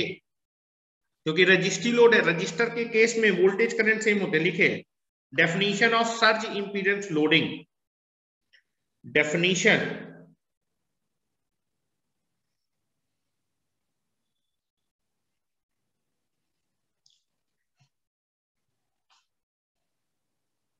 S I L अब ध्यान सुनिए डेफिनेशन में आपको समझाने की कोशिश कर रहा हूं ध्यान सुनिएगा एक लॉसलेस ट्रांसमिशन लाइन को एक लॉसलेस ट्रांसमिशन लाइन को जब आप किससे टर्मिनेट कर दें सर्ज इंपीडेंस के बराबर लोड से टर्मिनेट कर दें उस समय आपके लोड में जो भी एक्टिव पावर डिलीवर्ड होगी वही एक्टिव पावर कहलाती है सर्ज इंपीडेंस लोडिंग तो पहला वर्ड लिखे लोडिंग का मतलब क्या है लोडिंग मतलब होता है पावर से और कौन सी पावर से मतलब होता है दैट इज एक्टिव पावर से मतलब होता है लोडिंग का मतलब ठीक है लिखे लोडिंग तो surge impedance is also related with the active power से ठीक है loading term loading term loading is always always related related to the active power ठीक है पावर से रिलेटेड वर्ड है कौन सी पावर से एक्टिव पावर से रिलेटेड है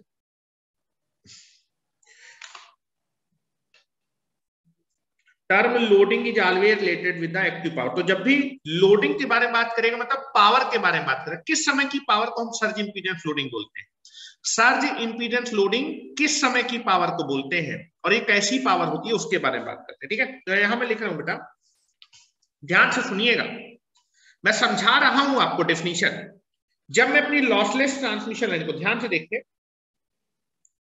ये मेरे पास एक लॉसलेस ट्रांसमिशन लाइन है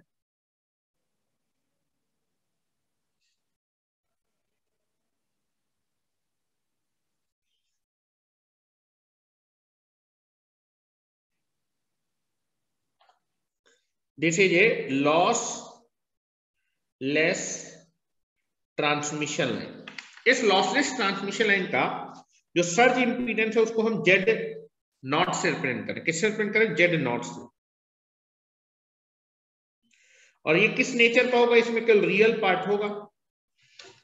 दिस इज ए रियल और इसकी वैल्यू जेड नॉट जो है जो सर्ज इंपीडेंस है that is having under root LC जो कि रियल पार्ट है रियल नेचर का है this is a real in nature real in nature अगर मैं इसको पोलर फॉर्मेट में लिखना तो, तो, इसके पास मैग्नीट्यूड होगा फेज एंगल जीरो होगा क्योंकि प्लस जे जीरो जीरो अगर आप निकालेंगे तो कल मैग्नीट्यूड आएगा फेज एंगल जीरो होगा तो अगर मैं इसको लिखना चाहूं तो इसका मैग्नीट्यूड में लिखूंगा जेड नॉट और जेड नॉट इसके मैग्नीट्यूड को रिप्रेजेंट इसका मैग्नीट्यूड कितना है अंडर रूट एल सी आएगा और what is the phase angle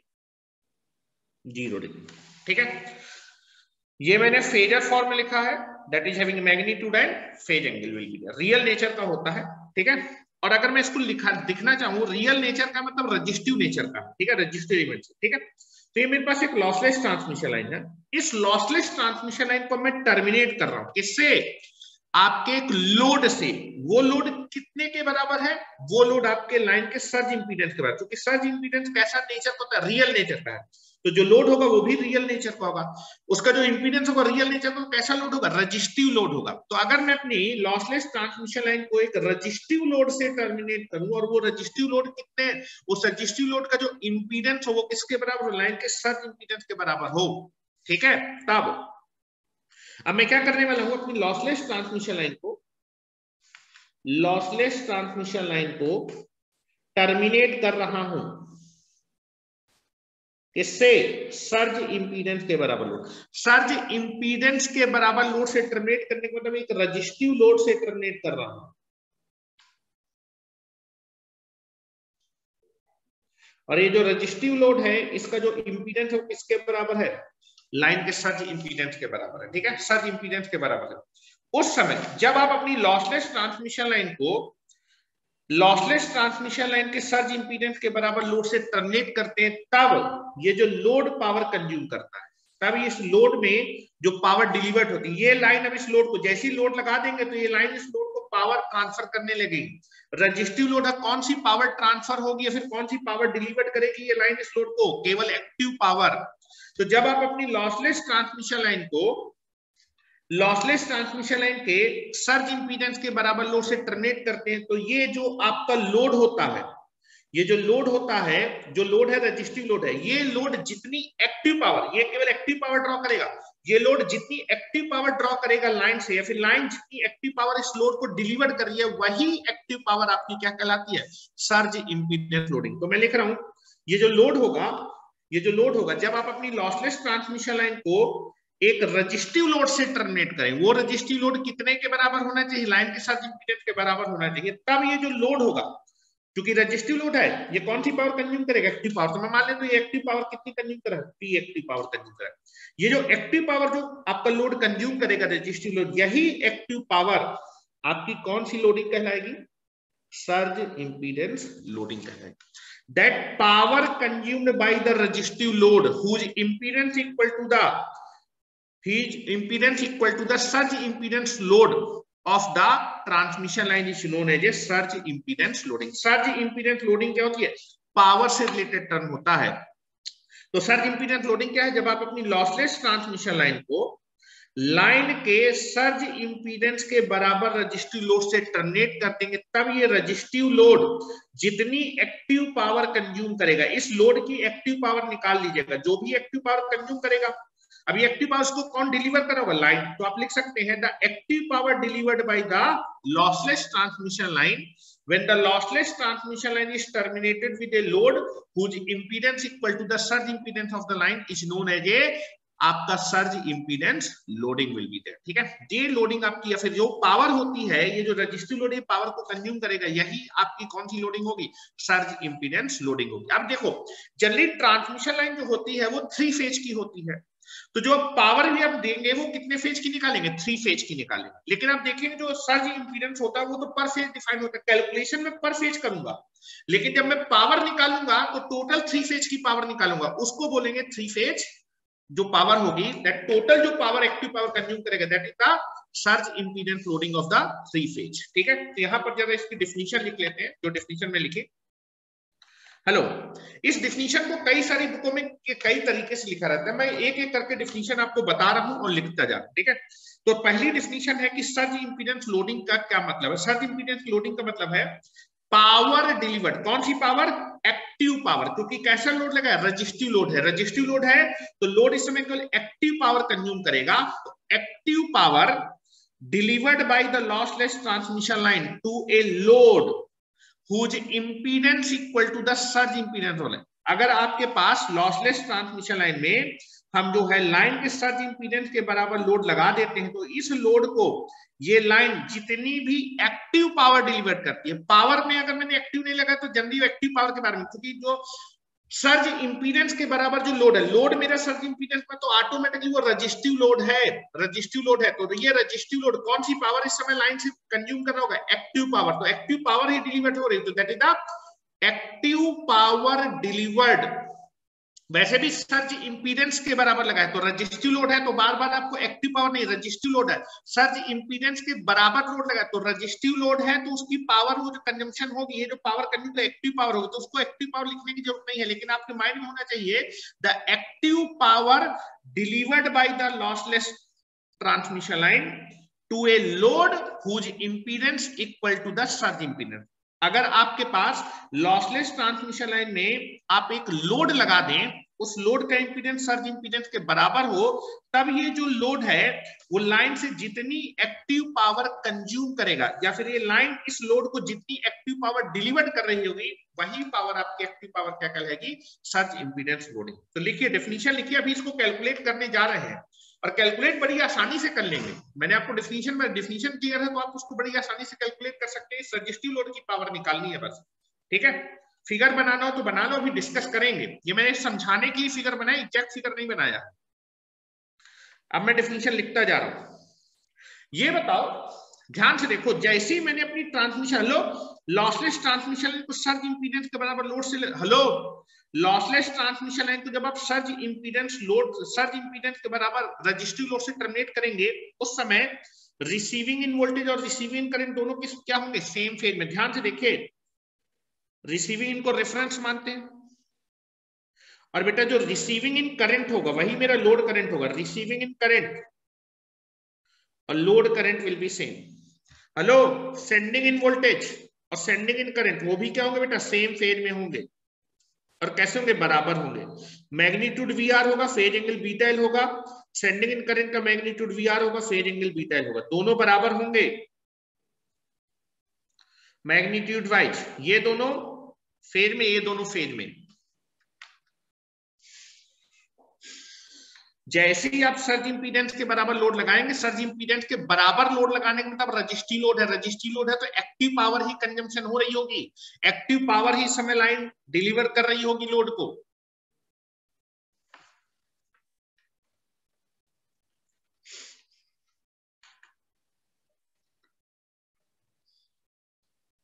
अच्छा वी आर जहां लिखा होगा वी आर की जगह मैं वीएस लिख सकता हूं क्या दोनों का मैग्नीट्यूड तो बराबर है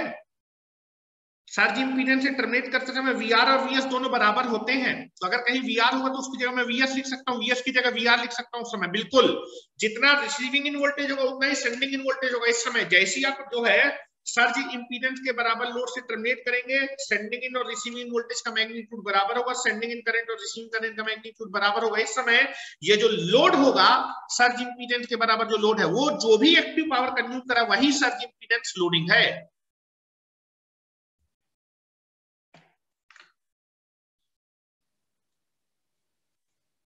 लिखना स्टार्ट करें डेफिनेशन चलो लिख रहा हूं लिखें द पावर पावर ब्रैकेट में लिख देता हूं the power delivered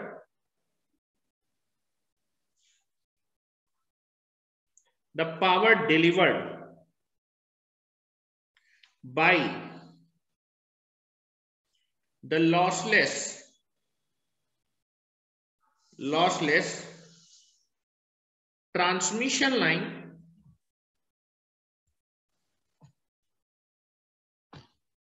to the load to the load the power delivered by the lossless transmission line to the load when when the load impedance load impedance when the load equal to the when the load equal to the surge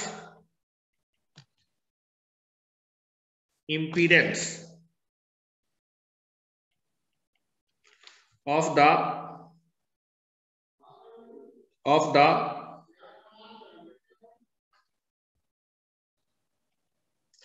transmission line जब आप ध्यान सुनिए बेटा जब आप transmission line को terminate कर देते हैं when the load equal to the surge impedance of the transmission जब आपका लॉसलेस ट्रांसमिशन लाइन में जो लोड लगा है वो सर्ज इंपीडेंस के बराबर हो जाएगा उस समय लॉसलेस ट्रांसमिशन लाइन इस रजिस्टिव लोड को जो भी पावर डिलीवर्ड करेगी लोड को जो पावर डिलीवर्ड करेगी वही लोड की पावर क्या कहलाती है सर्ज इंपीडेंस होगी lossless transmission line is known as is known as surge impedance loading और बेटा जो सर्ज इंपीडेंस होता है चूंकि रजिस्टिव नेचर का होता है तो लोड भी रजिस्टिव नेचर का इंटरनेट है तो सर्ज इंपीडेंस लोडिंग वॉट में आएगी एक्टिव पावर होगी या फिर इसी को लिख सकते हैं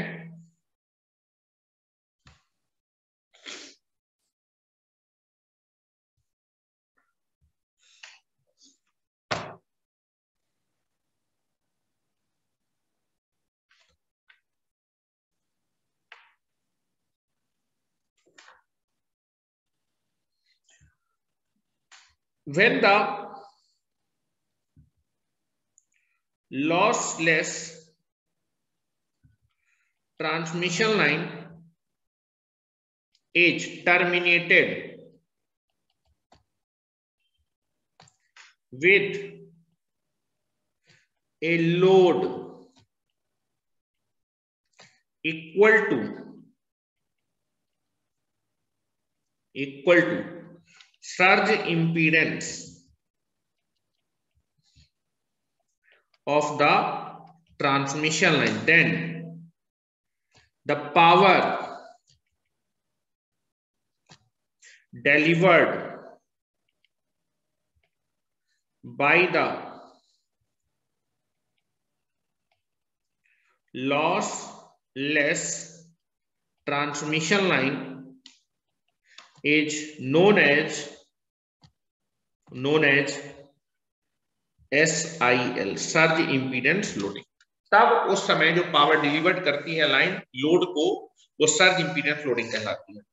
और चूंकि जो मेरा लोड है वो सर्ज इम्पीडेंस के बराबर है मतलब रजिस्टिव लोड है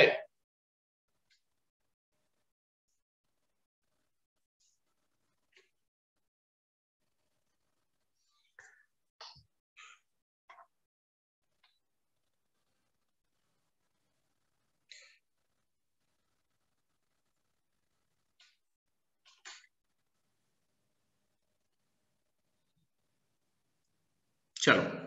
अब हम बात करते हैं फिगर में बना रहा हूं ठीक है अब कैलकुलेशन करने जा रहा हूं सर्च इंपीडेंस लोडिंग निकालने के लिए पावर कितनी डिलीवर्ड होगी ठीक है नेक्स्ट हेडिंग डालें calculation of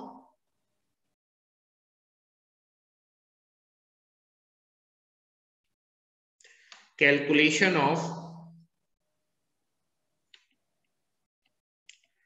surge impedance loading calculate करने जा रहे हैं is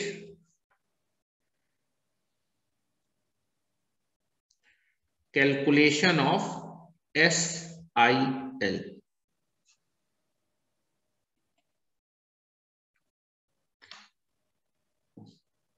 ये बताओ जो सर्ज इंपीडेंस होता है लाइन का वो पर फेज डिफाइन होता है अगर पर सेज डिफाइन होता है तो कैलकुलेशन भी कैलकुलेशन करने की जो फिगर बनाएंगे वो भी कैसा होगा पर सेज होगा ट्रांसमिशन लाइन थ्री फेज की होती है थ्री फेज ट्रांसमिशन लाइन लेकिन जो सर्ज इंपीडेंस होता है पर सेज डिफाइन तो कैलकुलेशन पर सेज करेंगे एक फेज में कितनी एक्टिव पावर ट्रांसफर उसको निकाल लेंगे टोटल थ्री फेज की लाइन है तो हर एक फेज में उतनी पावर ट्रांसफर टोटल पावर क्या होगी थ्री से मल्टीप्लाई कर देंगे तो सर्ज इंपीडेंस लोडिंग आ जाएगी ट्रांसमिशन लाइन ठीक है चलो यहां मैं लिख रहा हूं पहला पॉइंट लिखिए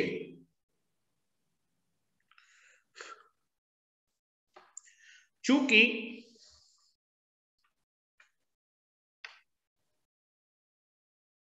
चूंकि द सर्च इंपीडेंस चूंकि Z naught Z naught is nothing but that is surge impedance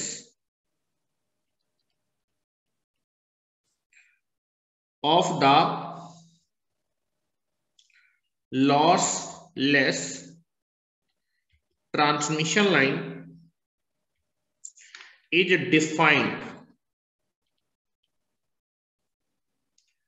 per phase so that for the calculation for the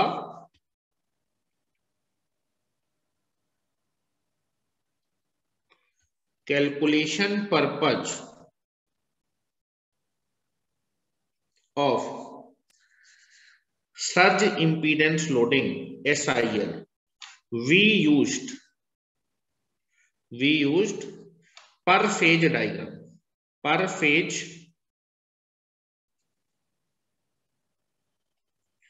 diagram ठीक है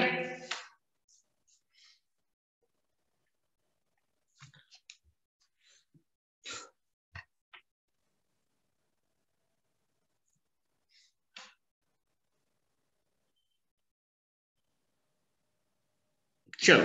अब मैं बना रहा हूं आपका per phase diagram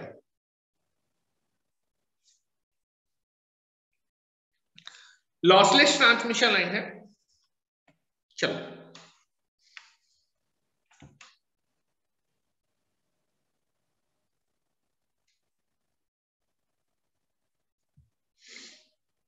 चलो now this is a lossless transmission line ध्यान से देखिएगा ये मेरी लॉसलेस ट्रांसमिशन लाइन है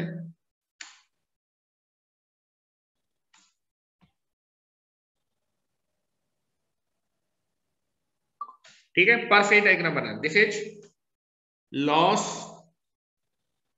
lossless transmission line है इसका सर्ज इंपीडेंस जेड नॉट है जो कि एक रियल नंबर होगा जो कि कैसा नंबर है रियल नंबर है रियल इन नेचर है तो अगर मैं इसको लिखना चाहूं इसका मैग्नीट्यूड जेड नॉट होगा फेर एंगल जीरो डिग्री होगा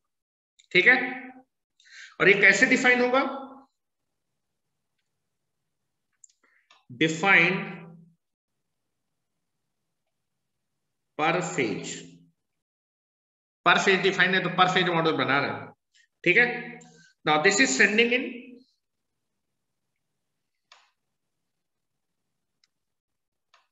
sending end और ये आपका रिसीविंग एंड है now this is the receiving end receiving end will be there ठीक है चलो नाउ सेंडिंग इन वोल्टेज को वीएस से रिप्रेजेंट कर सेंडिंग इन करंट को आईएस से रिप्रेजेंट करें ध्यान से देखते जाइए रिसीविंग इन वोल्टेज को वीआर से रिप्रेजेंट कर रहे हैं और रिसीविंग इन करंट को हम आई आर से रिप्रेजेंट करेंगे और ये जो मॉडल हम बनाएंगे वो कैसा होगा पर फेज तो यहाँ पर जो मैंने रिसीविंग इन वोल्टेज रिप्रेजेंट किया वो कौन सा है per phase receiving end voltage this is the per phase receiving end current ये this is per phase sending end current this is the per phase sending end voltage भी ठीक है चलो दिस इज लाइक दिस अब मैं क्या करने वाला हूं मैं इस लॉसलेस ट्रांसमिशन लाइन को टर्मिनेट करने जा रहा हूं टर्मिनेट करने जा रहा हूं किससे आपके एक लोड से और उस लोड का जो इम्पीडेंस है वो लाइन के सर्ज इम्पीडेंस सर्ज इम्पीडेंस चूंकि रियल नेचर होता है तो जो लोड का इम्पीडेंस है वो भी रियल नेचर का है रियल नेचर का मतलब रजिस्टिव लोड है तो मैं अपनी लॉसलेस ट्रांसमिशन लाइन को अब एक रजिस्टिव लोड से टर्मिनेट करने जा रहा हूं इसको मैं यहां पर लिख देता हूं ध्यान से देखिए इसको मैं यहां लिख देता हूं now this is the receiving inside. Receiving end receiving end voltage को मैं रिप्रेजेंट कर रहा हूं किससे वी आर से receiving end voltage can be represented by V R ठीक है receiving end voltage can be represented by V R this is V R और ये जो मॉडल है वो पर फेज है ठीक है तो यहाँ पर जो रिसीविंग इन वोल्टेज मैंने रिप्रेजेंट किया है ये कौन सा बेटा पर फेज रिसीविंग इन करंट भी कैसा है पर फेज सेंडिंग इन करंट भी कैसा है पर फेज और बेटा सेंडिंग इन वोल्टेज भी कैसा है पर फेज ठीक है चलो अब मैं क्या कर रहा हूं इस लॉसलेस ट्रांसमिशन लाइन को टर्मिनेट कर रहा हूं किससे आपके एक लोड से जिसका इंपीडेंस लाइन के सर्ज इंपीडेंस सर्ज इंपीडेंस यहां पर मैंने एक लोड लगाया लोड का जो इम्पीडेंस है वो किसके सर्ज इम्पीडेंस जो कि कैसा नेचर होगा रियल नेचर का होगा अगर रियल नेचर का तो कैसा लोड है रजिस्टिव लोड तो मैं अपने लॉसलेस ट्रांसमिशन लाइन को टर्मिनेट करने जा रहा हूं lossless transmission line can be terminated which load surge impedance से टर्मिनेट करने का मतलब है रजिस्टिव लोड से टर्मिनेट करने सर्ज इम्पीडेंस से टर्मिनेट करने का मतलब है रजिस्टिव लोड से टर्मिनेट करना नाउ मैंने अपने लॉसलेस ट्रांसमिशन लाइन को टर्मिनेट कर दिया किससे एक लोड से कैसे लोड से रजिस्टिव लोड से और वो रजिस्टिव लोड किसके बराबर है इस लोड का जो इम्पीडेंस है वो किसके के बराबर है लाइन के सर्च इम्पीडेंस के बराबर है क्योंकि सर्च इम्पीडेंस कैसा होता है बेटा हेलो ये किस नेचर का होगा रियल इन नेचर का होगा रियल इन नेचर का होगा अगर रियल नेचर का होगा तो इसका मैग्नीट्यूड कितना होगा बेटा जेड नॉट और फेज एंगल कितना होगा जीरो डिग्री ये क्लियर है ना किसी को डाउट तो नहीं है मैंने अपने मैंने अपने लॉसलेस ट्रांसमिशन लाइन को एक लोड से टर्मिनेट किया है वो लोड किसके बराबर है लाइन के सर्ज इंपीडेंस चूंकि रियल नेचर का होता है तो ऑटोमेटिकली ये रजिस्टिव लोड हो गया और बेटा अगर ये रियल नेचर का है तो जब मैं इसको पोलर फॉर्मेट में लिखूंगा यहाँ बार लगाए मतलब क्या है आपका फेजर फॉर्म है जब मैं इसको मैग्नीट्यूड सेज फॉर्म लिखता हूँ इसका रियल पार्ट आएगा magnitude Z naught phase angle कितना होगा zero degree this is nothing but return है ए जो लोड इंपीडेंस है वो सर्ज इंपीडेंस के बराबर that is Z naught angle zero degree ठीक है चलो अब जरा ध्यान से देखिएगा मैंने अपनी लॉसलेस ट्रांसमिशन लाइन को सर्ज इंपीडेंस के बराबर रजिस्ट्री लोड से टर्मिनेट कर दिया तो ये बताइए अगर मैं लॉसलेस ट्रांसमिशन सर्ज इंपीडेंस के बराबर लोड से टर्मिनेट करूंगा चूंकि रिसीविंग पे लगाया है तो इस लोड के क्रॉस कितना वोल्टेज आएगा receiving end voltage phase per phase modelling कर रहा हूं तो what is the voltage across the load load के क्रॉस वोल्टेज कितना जाएगा रिसीविंग ये वोल्टेज आपको दिया हुआ है बेटा ये वोल्टेज ये रिसीविंग इन साइड है ये ग्राउंड है मान लीजिए दिस इज द ग्राउंड ये वोल्टेज है V R receiving end voltage per phase model है this is the V phase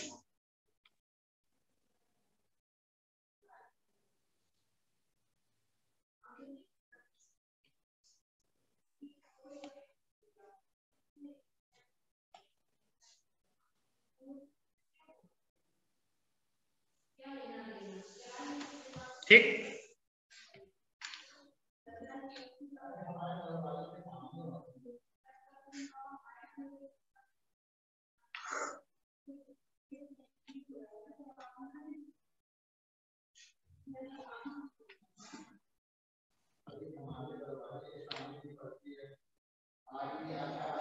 ठीक है चलो तो आप देखेंगे जो रिसीविंग इन वोल्टेज होगा वही लोड वोल्टेज हो जाएगा लोड के क्रॉस जो वोल्टेज है वो कौन सा वोल्टेज होगा रिसीविंग इन फेज वोल्टेज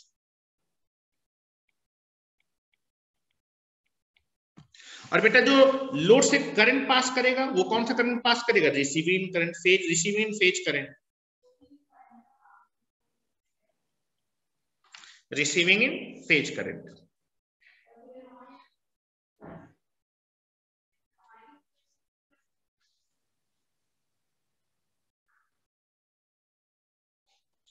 चलो अब देखो बेटा लाइन को सर्ज इंपीडेंस के बराबर लोड से टर्मिनेट करने रजिस्टिव टर्मिनेट करने में रजिस्टिव लोड लगाया रजिस्टिव लोड लगाया है तो बेटा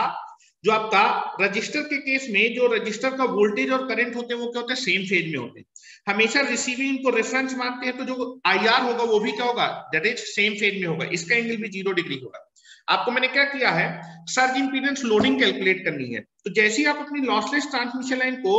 लाइन के सर्ज इंपीडेंस से टर्मिनेट कर देंगे इस लोड इस रजिस्टिव लोड में जो भी पावर ट्रांसफर या फिर जो रजिस्टिव लोड जितनी भी पावर कंजम्पशन कर रहा है जितनी भी एक्टिव पावर कंज्यूम कर रहा है वही आपके कौन सा पावर है that is the surge impedance will be that इस एक्टिव पावर को कैलकुलेट करना एक्टिव पावर को बड़ी आसानी से निकाल लेंगे दैट इज अगर आपको लोड का टर्मिनल वोल्टेज मालूम है टर्मिनल करंट मालूम है तो कितनी एक्टिव पावर कंज्यूम करेगा V I cos phi resistive load है दैट इज पावर फैक्टर कितना होगा unity will be there because angle कितना होगा दोनों सेम फेज में होगा वी आई कॉस फाइव बस एक्टिव पावर आ जाएगा एक फेज की पावर रहेगी टोटल थ्री फेज की पावर निकालेंगे क्योंकि ट्रांसमिशन लाइन थ्री फेज की होती है तो टोटल थ्री फेज पावर निकालने के लिए आप मल्टीप्लाई कर देंगे और आपका आंसर आ गया ठीक है कैलकुलेट करने जा रहा हूं ठीक है नाउ इसको हम रेफरेंस मानते हैं receiving end voltage receiving end voltage is always consider a reference phasor चलो मैं कैलकुलेट करने जा रहा हूं अच्छा ये बताओ इस समय जो आपका लोड है जो भी एक्टिव पावर कंज्यूम कर रहा होगा वही सर्ज इंपीडेंस लोडिंग कहलाएगा ये बताओ सर्ज इंपीडेंस लोडिंग के दौरान जिस समय सर्ज इंपीडेंस लोडिंग मतलब आपकी सर्ज इंपीडेंस मतलब जो एक्टिव पावर ये लाइन डिलीवर होगी इस समय जो भी पावर जो भी पावर आपकी लोड कंज्यूम कर रहा होगा उसी पावर को हम बोलते हैं सर्ज इंपीडेंस लोडिंग इस समय सर्ज इंपीडेंस लोडिंग के दौरान जो रिसीविंग इन वोल्टेज और रिसीविंग इन करंट दोनों क्या होंगे बेटा सेम फेज में होंगे रिसीविंग इन वोल्टेज और रिसीविंग रिसीविंग इन वोल्टेज और रिसीविंग करंट क्या होंगे दोनों सेम फेज में होंगे what is the receiving end power factor unity power factor तो कुछ पॉइंट लिख लीजिए ठीक है लिखिए जिस समय आपका सर्ज इंपीडेंस लोडिंग कैलकुलेट की जाती है hello surge impedance loading calculate करने का मतलब आपको अपने लॉसलेस ट्रांसमिशन लाइन को रजिस्टिव लोड से टर्मिनेट करना है रजिस्टिव लोड से टर्मिनेट करने का मतलब उस समय क्या होगा उस समय जो रजिस्टिव लोड पावर कंज्यूम करे सर्च इम्पीडेंस लोडिंग कहलाएगा सर्च इम्पीडेंस के दौरान जो आपका रजिस्टिव लोड लगा रजिस्टिव लोड लगा है तो आपका जो रिसीविंग इन वोल्टेज और रिसीविंग करंट दोनों क्या होंगे सेम फेज में होंगे उस समय रिसीविंग इन पावर और सेंडिंग इन पावर दोनों क्या होंगे यूनिटी पावर फैक्टर ठीक है लिख रहा हूँ उस समय अगर यूनिटी पावर सेक्टर रजिस्टर है तो कौन सी पावर कंजम्पन हो रही है active power reactive power consumption कितना होगा जीरो लिखे बेटा यहां पर कुछ पॉइंट लिख लीजिए पहले ड्यूरिंग ड्यूरिंग कौन सी पावर कैलकुलेट करते समय सर्ज इंपीडेंस लोडिंग कैलकुलेट कर during the surge impedance loading surge impedance loading calculate करते समय जब सर्ज इंपीडेंस लोडिंग हम कैलकुलेट कर रहे होंगे तब कैसा लोड लगा रखा होगा रजिस्टिव लोड लगा रखा होगा अगर रजिस्टिव लोड लगा रखा होगा उस समय उस समय क्या क्या चीजें होंगी ठीक है सर्ज इंपीडेंस लोडिंग कैलकुलेट करने का मतलब आपने लॉसलेस ट्रांसमिशन लाइन में एक लोड लगा रखा है उस लोड का इंपीडेंस सर्ज इंपीडेंस के बराबर उस समय आपका रिसीविंग इन वोल्टेज और रिसीविंग इन करंट दोनों सेम फेज में होंगे सेंडिंग इन वोल्टेज और सेंडिंग इन करंट दोनों सेम फेज में होंगे receiving end power factor unity होगा सेंडिंग इन पावर सेक्टर कितना होगा यूनिटी होगा इस समय आपका जो है जो लोड होगा वो कौन सी पावर कंज्यूम करे रजिस्टिव एक्टिव पावर कंज्यूम करोगा रिएक्टिव पावर कंज्यूमशन कितना होगा जीरो लिख रहा हूँ during the surge impedance loading surge impedance loading calculate कर समय मतलब रजिस्ट्री लोड है जो कि लाइन के सर्च इंपीडेंस के बराबर है that is V R and i are receiving in voltage and receiving in current are in the same phase.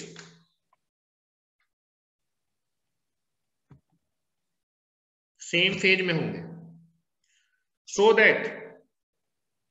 receiving in power factor boliye ya fir load power factor boliye that is load power factor or receiving in power factor that is cos phi r कितना होगा one this is a UPF ठीक है unity power factor होगा and इस समय जो load होगा load जो एक्टिव पावर कंज्यूम करा होगा एक्टिव पावर की वैल्यू नॉन जीरो होगी लेकिन लोड रिएक्टिव पावर कितनी कंज्यूम करेगा दिस इज जीरो पहला पॉइंट ये हो गया इस समय चूंकि मैंने जो लोड लगा रखा है वो लाइन के सर्ज इंपीडेंस के बराबर है तो VS and IS are also in the same phase वो भी क्या होंगे सेम फेज में होंगे अभी मैंने निकाया था आपको so that load power factor that is sending in so that sending in power factor that is cos phi s kitna hoga one ye bhi unity power factor hoga u p S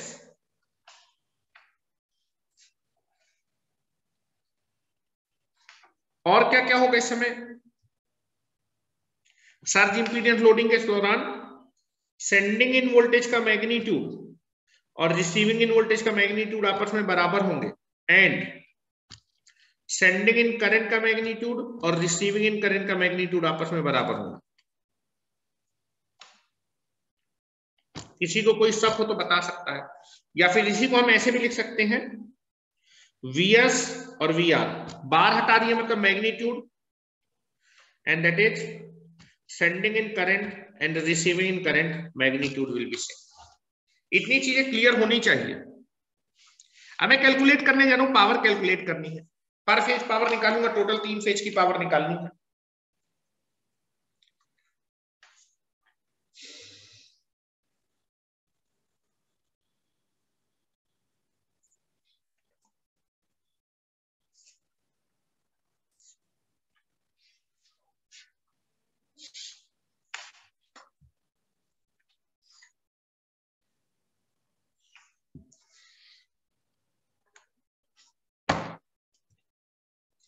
calculation में per phase करूंगा क्योंकि surge impedance per phase define होता है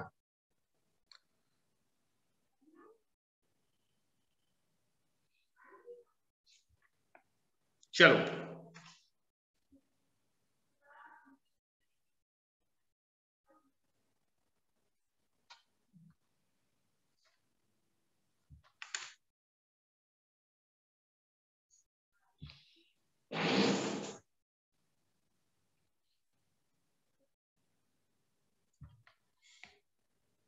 हो गया आ जाओ calculate करने जा रहा है चलो कैलकुलेट करने जा रहा हूं पर सेज कैलकुलेशन कर रहा हूं per phase calculation per phase calculation कर रहा हूं ठीक है ये जो लोड है लोड जितनी भी एक्टिव पावर कंज्यूम करेगा वही आपकी सर्च इंपीडेंस लोडिंग होगी लेकिन थ्री फेज लाइन होती तो थ्री फेज पावर निकालनी पड़ेगी पर फेज निकालने पर तीन से गुना कर देंगे तो ये बताओ पर फेज रिसीविंग इन वोल्टेज या फिर load voltage will be same as as receiving end voltage हाँ क्लास है ईडीसी e की परेशान नहीं हो लिखो per phase per phase load voltage और रिसीविंग वोल्टेज सेम है पर फेज लोड वोल्टेज बोलिए या फिर per phase receiving end voltage load की पावर निकालनी है तो लोड का voltage receiving end voltage per phase per phase calculation कर रहा हूं रिसीविंग इन वोल्टेज कितना है बेटा पर फेज लोड वोल्टेज को हम रिप्रेजेंट कर रहे हैं किससे बेटा वी आर से पर फेज रिसीविंग इन वोल्टेज या फिर पर फेज जो load voltage hello per phase जो लोड वोल्टेज को हम वी आर फेज से रिप्रेजेंट कर रहे हैं जो लोड वोल्टेज बोलिए या फिर लोड वोल्टेज बोलिए या फिर रिसीव लोड वोल्टेज ही रिसीविंग वोल्टेज के बराबर होगा ठीक है तो रिसीविंग तो अच्छा, ये बताओ लोड पावर निकालो या फिर रिसीविंग पावर निकालो बात सेम है मुझे लोड की पावर निकालो लोड पावर निकालो चाहे रिसीविंग पावर बात क्या है सेम है सेम थिंग विल बी ठीक है तो that is per phase load voltage and per phase receiving voltage दोनों क्या है सेम है तो दैट इज उसको हम रिप्रेजेंट कर रहे हैं वी आर फेज से इसका मैग्नीट्यूड कितना है V R phase receiving end voltage को हम क्या मानते हैं रेफरेंस फेज एंगल कितना है zero degree this is the reference reference phasor ये मेरा रेफरेंस फेजर ठीक है जैसे ही बेटा आपने जो है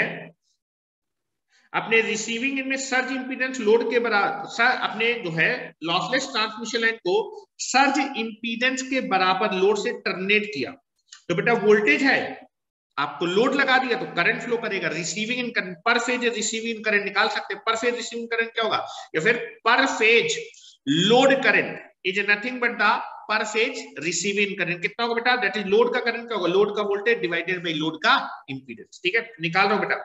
वोल्टेज मालूम है जैसे ही आप लोड लगाएंगे करंट फ्लो करेगा तो per phase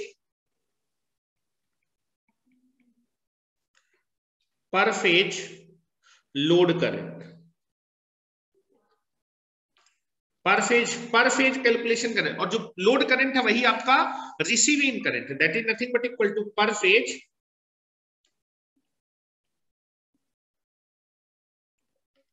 receiving end current उसको हम किससे रिप्रेजेंट करें per phase receiving end current या फिर लोड करंट को हम आई आर फेज से रिप्रेजेंट इसकी वैल्यू कितनी होगी बेटा दैट इज लोड का वोल्टेज लोड के क्रॉस कौन सा वोल्टेज है that is receiving in phase voltage divided by load का impedance Z. Load का impedance है वो कितना है बेटा हेलो लोड जो आपने लगा रखा है उसका impedance कितना है लोड का जो impedance है वो सर्ज impedance के बराबर है चलो रिसीविंग इन फेज वोल्टेज को आप मैग्नीट्यूड फेज फॉर्म में लिख सकते हैं हेलो मैग्नीट्यूड फेज फॉर्म में लिख सकते हैं this is V R phase magnitude है एंगल जीरो डिग्री है ये बताओ सर्ज इंपीडेंस तो रियल नेचर का होता है तो इसका मैग्नीट्यूड तो बेटा जेड नॉट हो जाएगा और फेज एंगल कितना होगा जीरो डिग्री तो बेटा करंट का देखो हेलो करंट का फेजर मैं निकाल के दिखा रहा हूं आपको बिल्कुल क्लियरली करंट का फेजर कितना आएगा जीरो डिग्री आएगा this is nothing but the receiving end phase current का मैग्नीट्यूड हो जाएगा receiving end phase voltage divided by surge impedance का magnitude that is under root L by C V R receiving end phase voltage divided by Z naught angle zero degree clear है किसी को कोई शक EDC e की class है कहे परेशान हो भाई अभी दस मिनट है क्लास के और आपको यहां से दिख रहा होगा बेटा hello receiving end phase voltage और रिसीविंग फेज करंट दोनों क्या है सेम फेज में है सेम फेज में what is the receiving end power factor फिर load power factor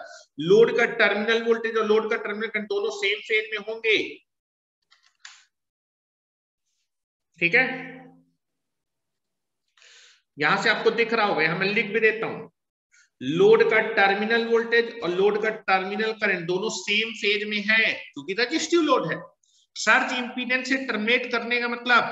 surge impedance real होता है तो जो लोड आपने लगा रखा है उसका इंपीडेंस रियल है रियल है मतलब रजिस्टिव है ठीक है this is nothing but the यहां पर लिखा है same phase load current and load voltage per phase that is receiving end voltage and per phase receiving current they are in same phase दोनों सेम फेज में होंगे so that load power factor बोलिए या फिर receiving इन power factor कितना होगा UPF unity power factor चलो अब ये बताओ लोड का टर्मिनल वोल्टेज मालूम है कह लो लोड का टर्मिनल वोल्टेज मालूम है टर्मिनल करंट मालूम है उनके बीच का एंगल मालूम है तो कितनी एक्टिव पावर कंज्यूम कर नहीं निकाल पाओगे हेलो लोड का टर्मिनल वोल्टेज मालूम है लोड का टर्मिनल करंट उनके बीच का एंगल कितना एंगल है दोनों सेम फेज में एंगल कितना है जीरो डिग्री तो पावर निकालेंगे एक्टिव पावर एक्टिव पावर ही ट्रांसफर होगी वही पावर निकालना जो भी एक्टिव पावर ट्रांसफर होती है ठीक है लिख रहा हूं तो ये बेटा आप पर फेज वोल्टेज करंट मालूम है तो पर फेज पावर आ जाएगी that is per phase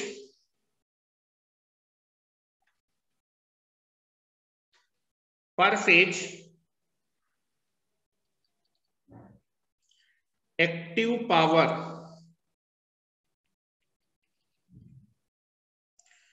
transferred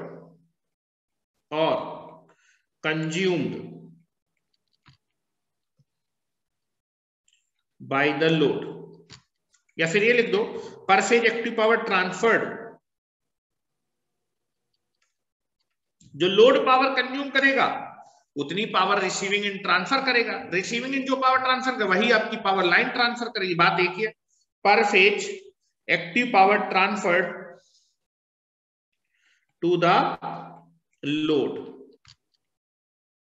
by the lossless transmission line या फिर इसको बोल सकते हैं this is per phase active power consumed by the load जितनी एक्टिव पावर लोड कंज्यूम करेगा उतनी रिसीविंग से पावर ट्रांसफर रिसीविंग से पावर ट्रांसफर होने के मतलब लाइन पावर ट्रांसफर की कितनी आई बेटा पर फेज कितनी एक्टिव पावर ट्रांसफर होगी लोड का टर्मिनल वोल्टेज मालूम है लोड का टर्मिनल करंट मालूम उनके बीच का एंगल मालूम है तो that is what is this power hello V I cos five active power transfer होगी hello what is the per phase voltage magnitude कितना है V hello V I cos five ठीक है वर्ता इज द दोनों के बीच का angle hello V phase V load का वोल्टेज लोड का टर्मिनल वोल्टेज टर्मिनल करंट के बीच का एंगल कितना होगा कॉस जीरो डिग्री क्यों जीरो डिग्री है because it is a resistive load चलो निकाल रहा हूं बेटा hello now this is the जो लोड का टर्मिनल वोल्टेज है वो रिसीविंग इन फेज वोल्टेज है तो मैं उसको सही से लिख देता हूँ दिस लोड के टर्मिनल के क्रॉस कौन सा वोल्टेज है रिसीविंग इन वोल्टेज जो करंट है that is receiving end phase current और उनके बीच के एंगल बीच के एंगल है जीरो डिग्री दोनों same phase that is cos zero degree now चलो कैलकुलेट करते हैं पर फेज जो पावर ट्रांसफर हो रही होगी लोड में या फिर जो लाइन है वो इतनी एक्टिव पावर ट्रांसफर करेगी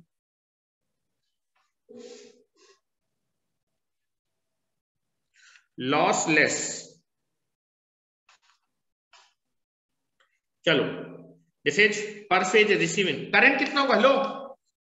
रिसीविंग इन फेज वोल्टेज का मैग्नीट्यूड कितना होगा लो रिसीविंग इन फेज करंट का रिसीविंग फेज करंट का मैग्नीट्यूड कितना है हेलो निकाल सकते हैं ना करंट का मैग्नीट्यूड करंट का मैग्नीट्यूड ना निकाल पाओगे वोल्टेज डिवाइडेड बाय इंपीडेंस ये लिखा हुआ है voltage divided by impedance receiving end phase current का मैग्नीट्यूड ये लिखा है बेटा ये लिखा है This is receiving in phase voltage divided by impedance ka magnitude get not into this is one. That is per phase जो आपका एक्टिव पावर ट्रांसफर हो रही होगी that is receiving end phase voltage का whole square divided by Z naught इतनी watt power transfer हुई एक phase में इतनी पावर ट्रांसफर होगी थ्री फेज ट्रांसमिशन है तो टोटल कितनी एक्टिव पावर ट्रांसफर हो रही होगी लॉसलेस ट्रांसमिशन है total active power three phase की लाइन है तो थ्री फेज की पावर बताते हैं तो लिख रहे हैं बेटा टोटल टोटल और टोटल जितनी भी एक्टिव पावर ट्रांसफर होगी सर रजिस्ट्री लोड में वही आपकी सर्ज इंपीडेंस लोडिंग कहलाएगी नेक्स्ट लिख रहे हैं total three phase active power.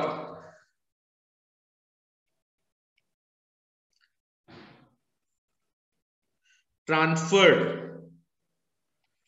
by the lossless line H एक फेज में इतनी है तो दूसरे फेज में इतनी हो तीसरे फेज में तो एक फेज की पावर निकाल ली टोटल थ्री फेज की निकाल लेंगे तीन से गुड़ा कर देंगे बैलेंस सिस्टम मान के चल रहा है that is total three phase में जो भी एक्टिव पावर ट्रांसफर होगी इस रजिस्ट्री लोड को जब आप आसाद इम्पीडेंस के बाद लोड से टर्मिनेट करेंगे this three into per phase active power now this is three into receiving end phase voltage का whole square divided by z naught ठीक है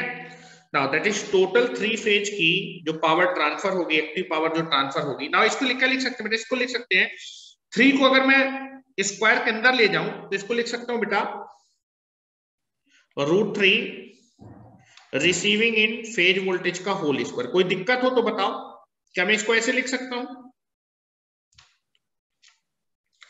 थ्री को आप लिख सकते हैं रूट थ्री का होल स्क्वायर होल स्क्वायर लिखने के बाद इसको अंदर ले जा सकते हैं ये बताओ root three times of the phase voltage किसके बराबर होगा थ्री फेज सिस्टम में जो आपका लाइन वोल्टेज होता है रिसीविंग इन लाइन वोल्टेज क्या होगा root three times of the receiving end phase voltage तो मैं देख रहा हूं थ्री फेज सिस्टम में जो फेज वोल्टेज होता है चूंकि जो लाइन वोल्टेज होता है वो क्या होता है बेटा that line voltage is nothing but equal to अगर मैं लिखना चाहूं रिसीविंग इन लाइन वोल्टेज और रिसीविंग फेज वोल्टेज के बीच में relation receiving end line current is nothing but equal to root three times of the receiving end phase voltage कुछ नहीं लिया तो स्टार कनेक्शन मान के चलेंगे तो इसकी जगह आप क्या लिख सकते हैं root three times of the receiving end phase voltage की जगह रिसीविंग इन लाइन करेंट क्योंकि थ्री फेज सिस्टम में आपको कभी भी फेज वोल्टेज नहीं दिया होगा कौन सा वोल्टेज दिया होगा लाइन वोल्टेज इसलिए लाइन वोल्टेज के टर्म में इसको लिख रहा हूं थ्री फेज सिस्टम में हमेशा लाइन वोल्टेज दिया होता है तो that is three phase active power जो ट्रांसफर होगी दैट इज इसकी जगह लिखने वाला हूं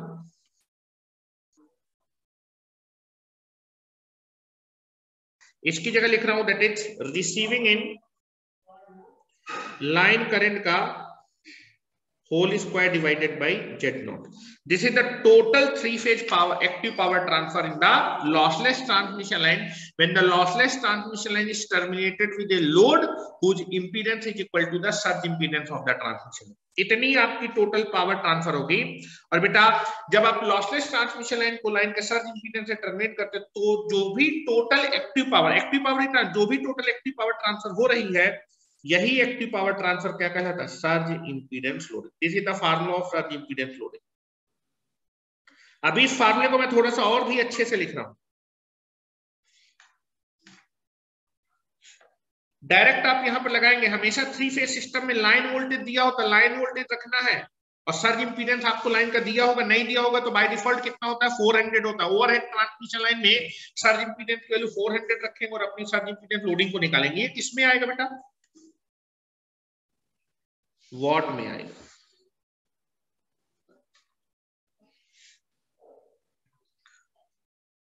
this is the formula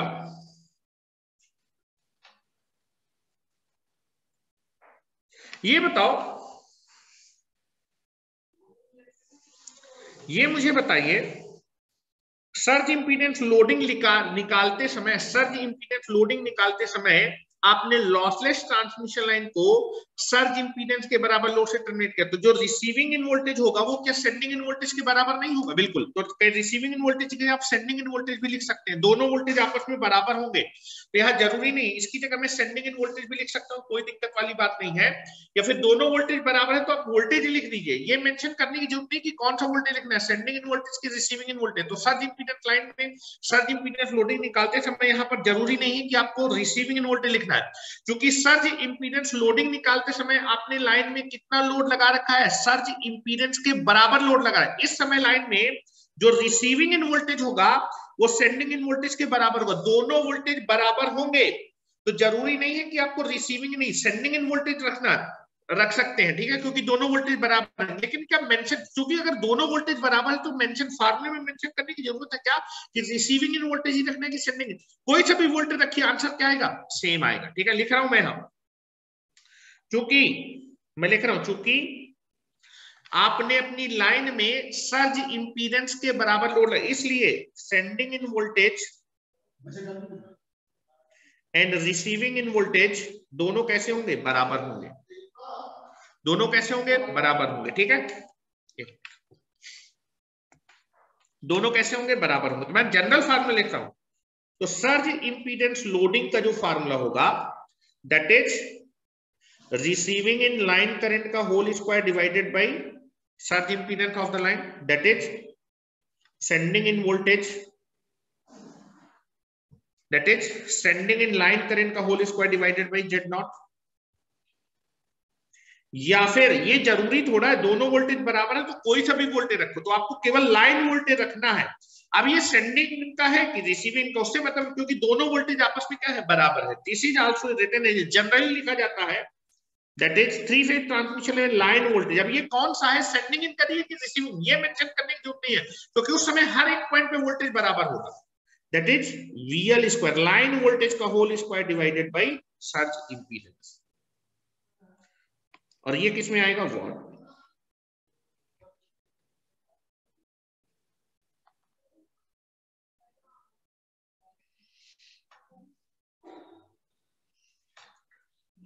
hello दोनों वोल्टेज बराबर होंगे तो ये मेंशन हेलो क्योंकि दोनों वोल्टेज बराबर है तो ये मेंशन करने की जरूरत नहीं कि कौन सा लाइन वोल्टेज है कि रिसीविंग है कोई सा भी रखो बात क्या है सेम है तो इस बात में याद रखिएगा दिस इज द इम्पोर्टेंट कल इसके आगे डिस्कशन करेंगे अब ईडीसी की आपकी क्लास है तो क्लास को स्टॉप करते हैं कल मैं रिवाइज कराऊंगा और वी विल डिस्कस ये फार्मूला याद रखिएगा आपके most of the question surge impedance से इस फार्मूले से हो जाएंगे कल मैं निकलाऊंगा भी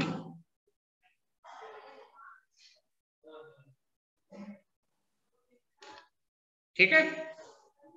चलिए यहीं पर एंड करते हैं आपकी क्लास को कल इसके आगे डिस्कशन करेंगे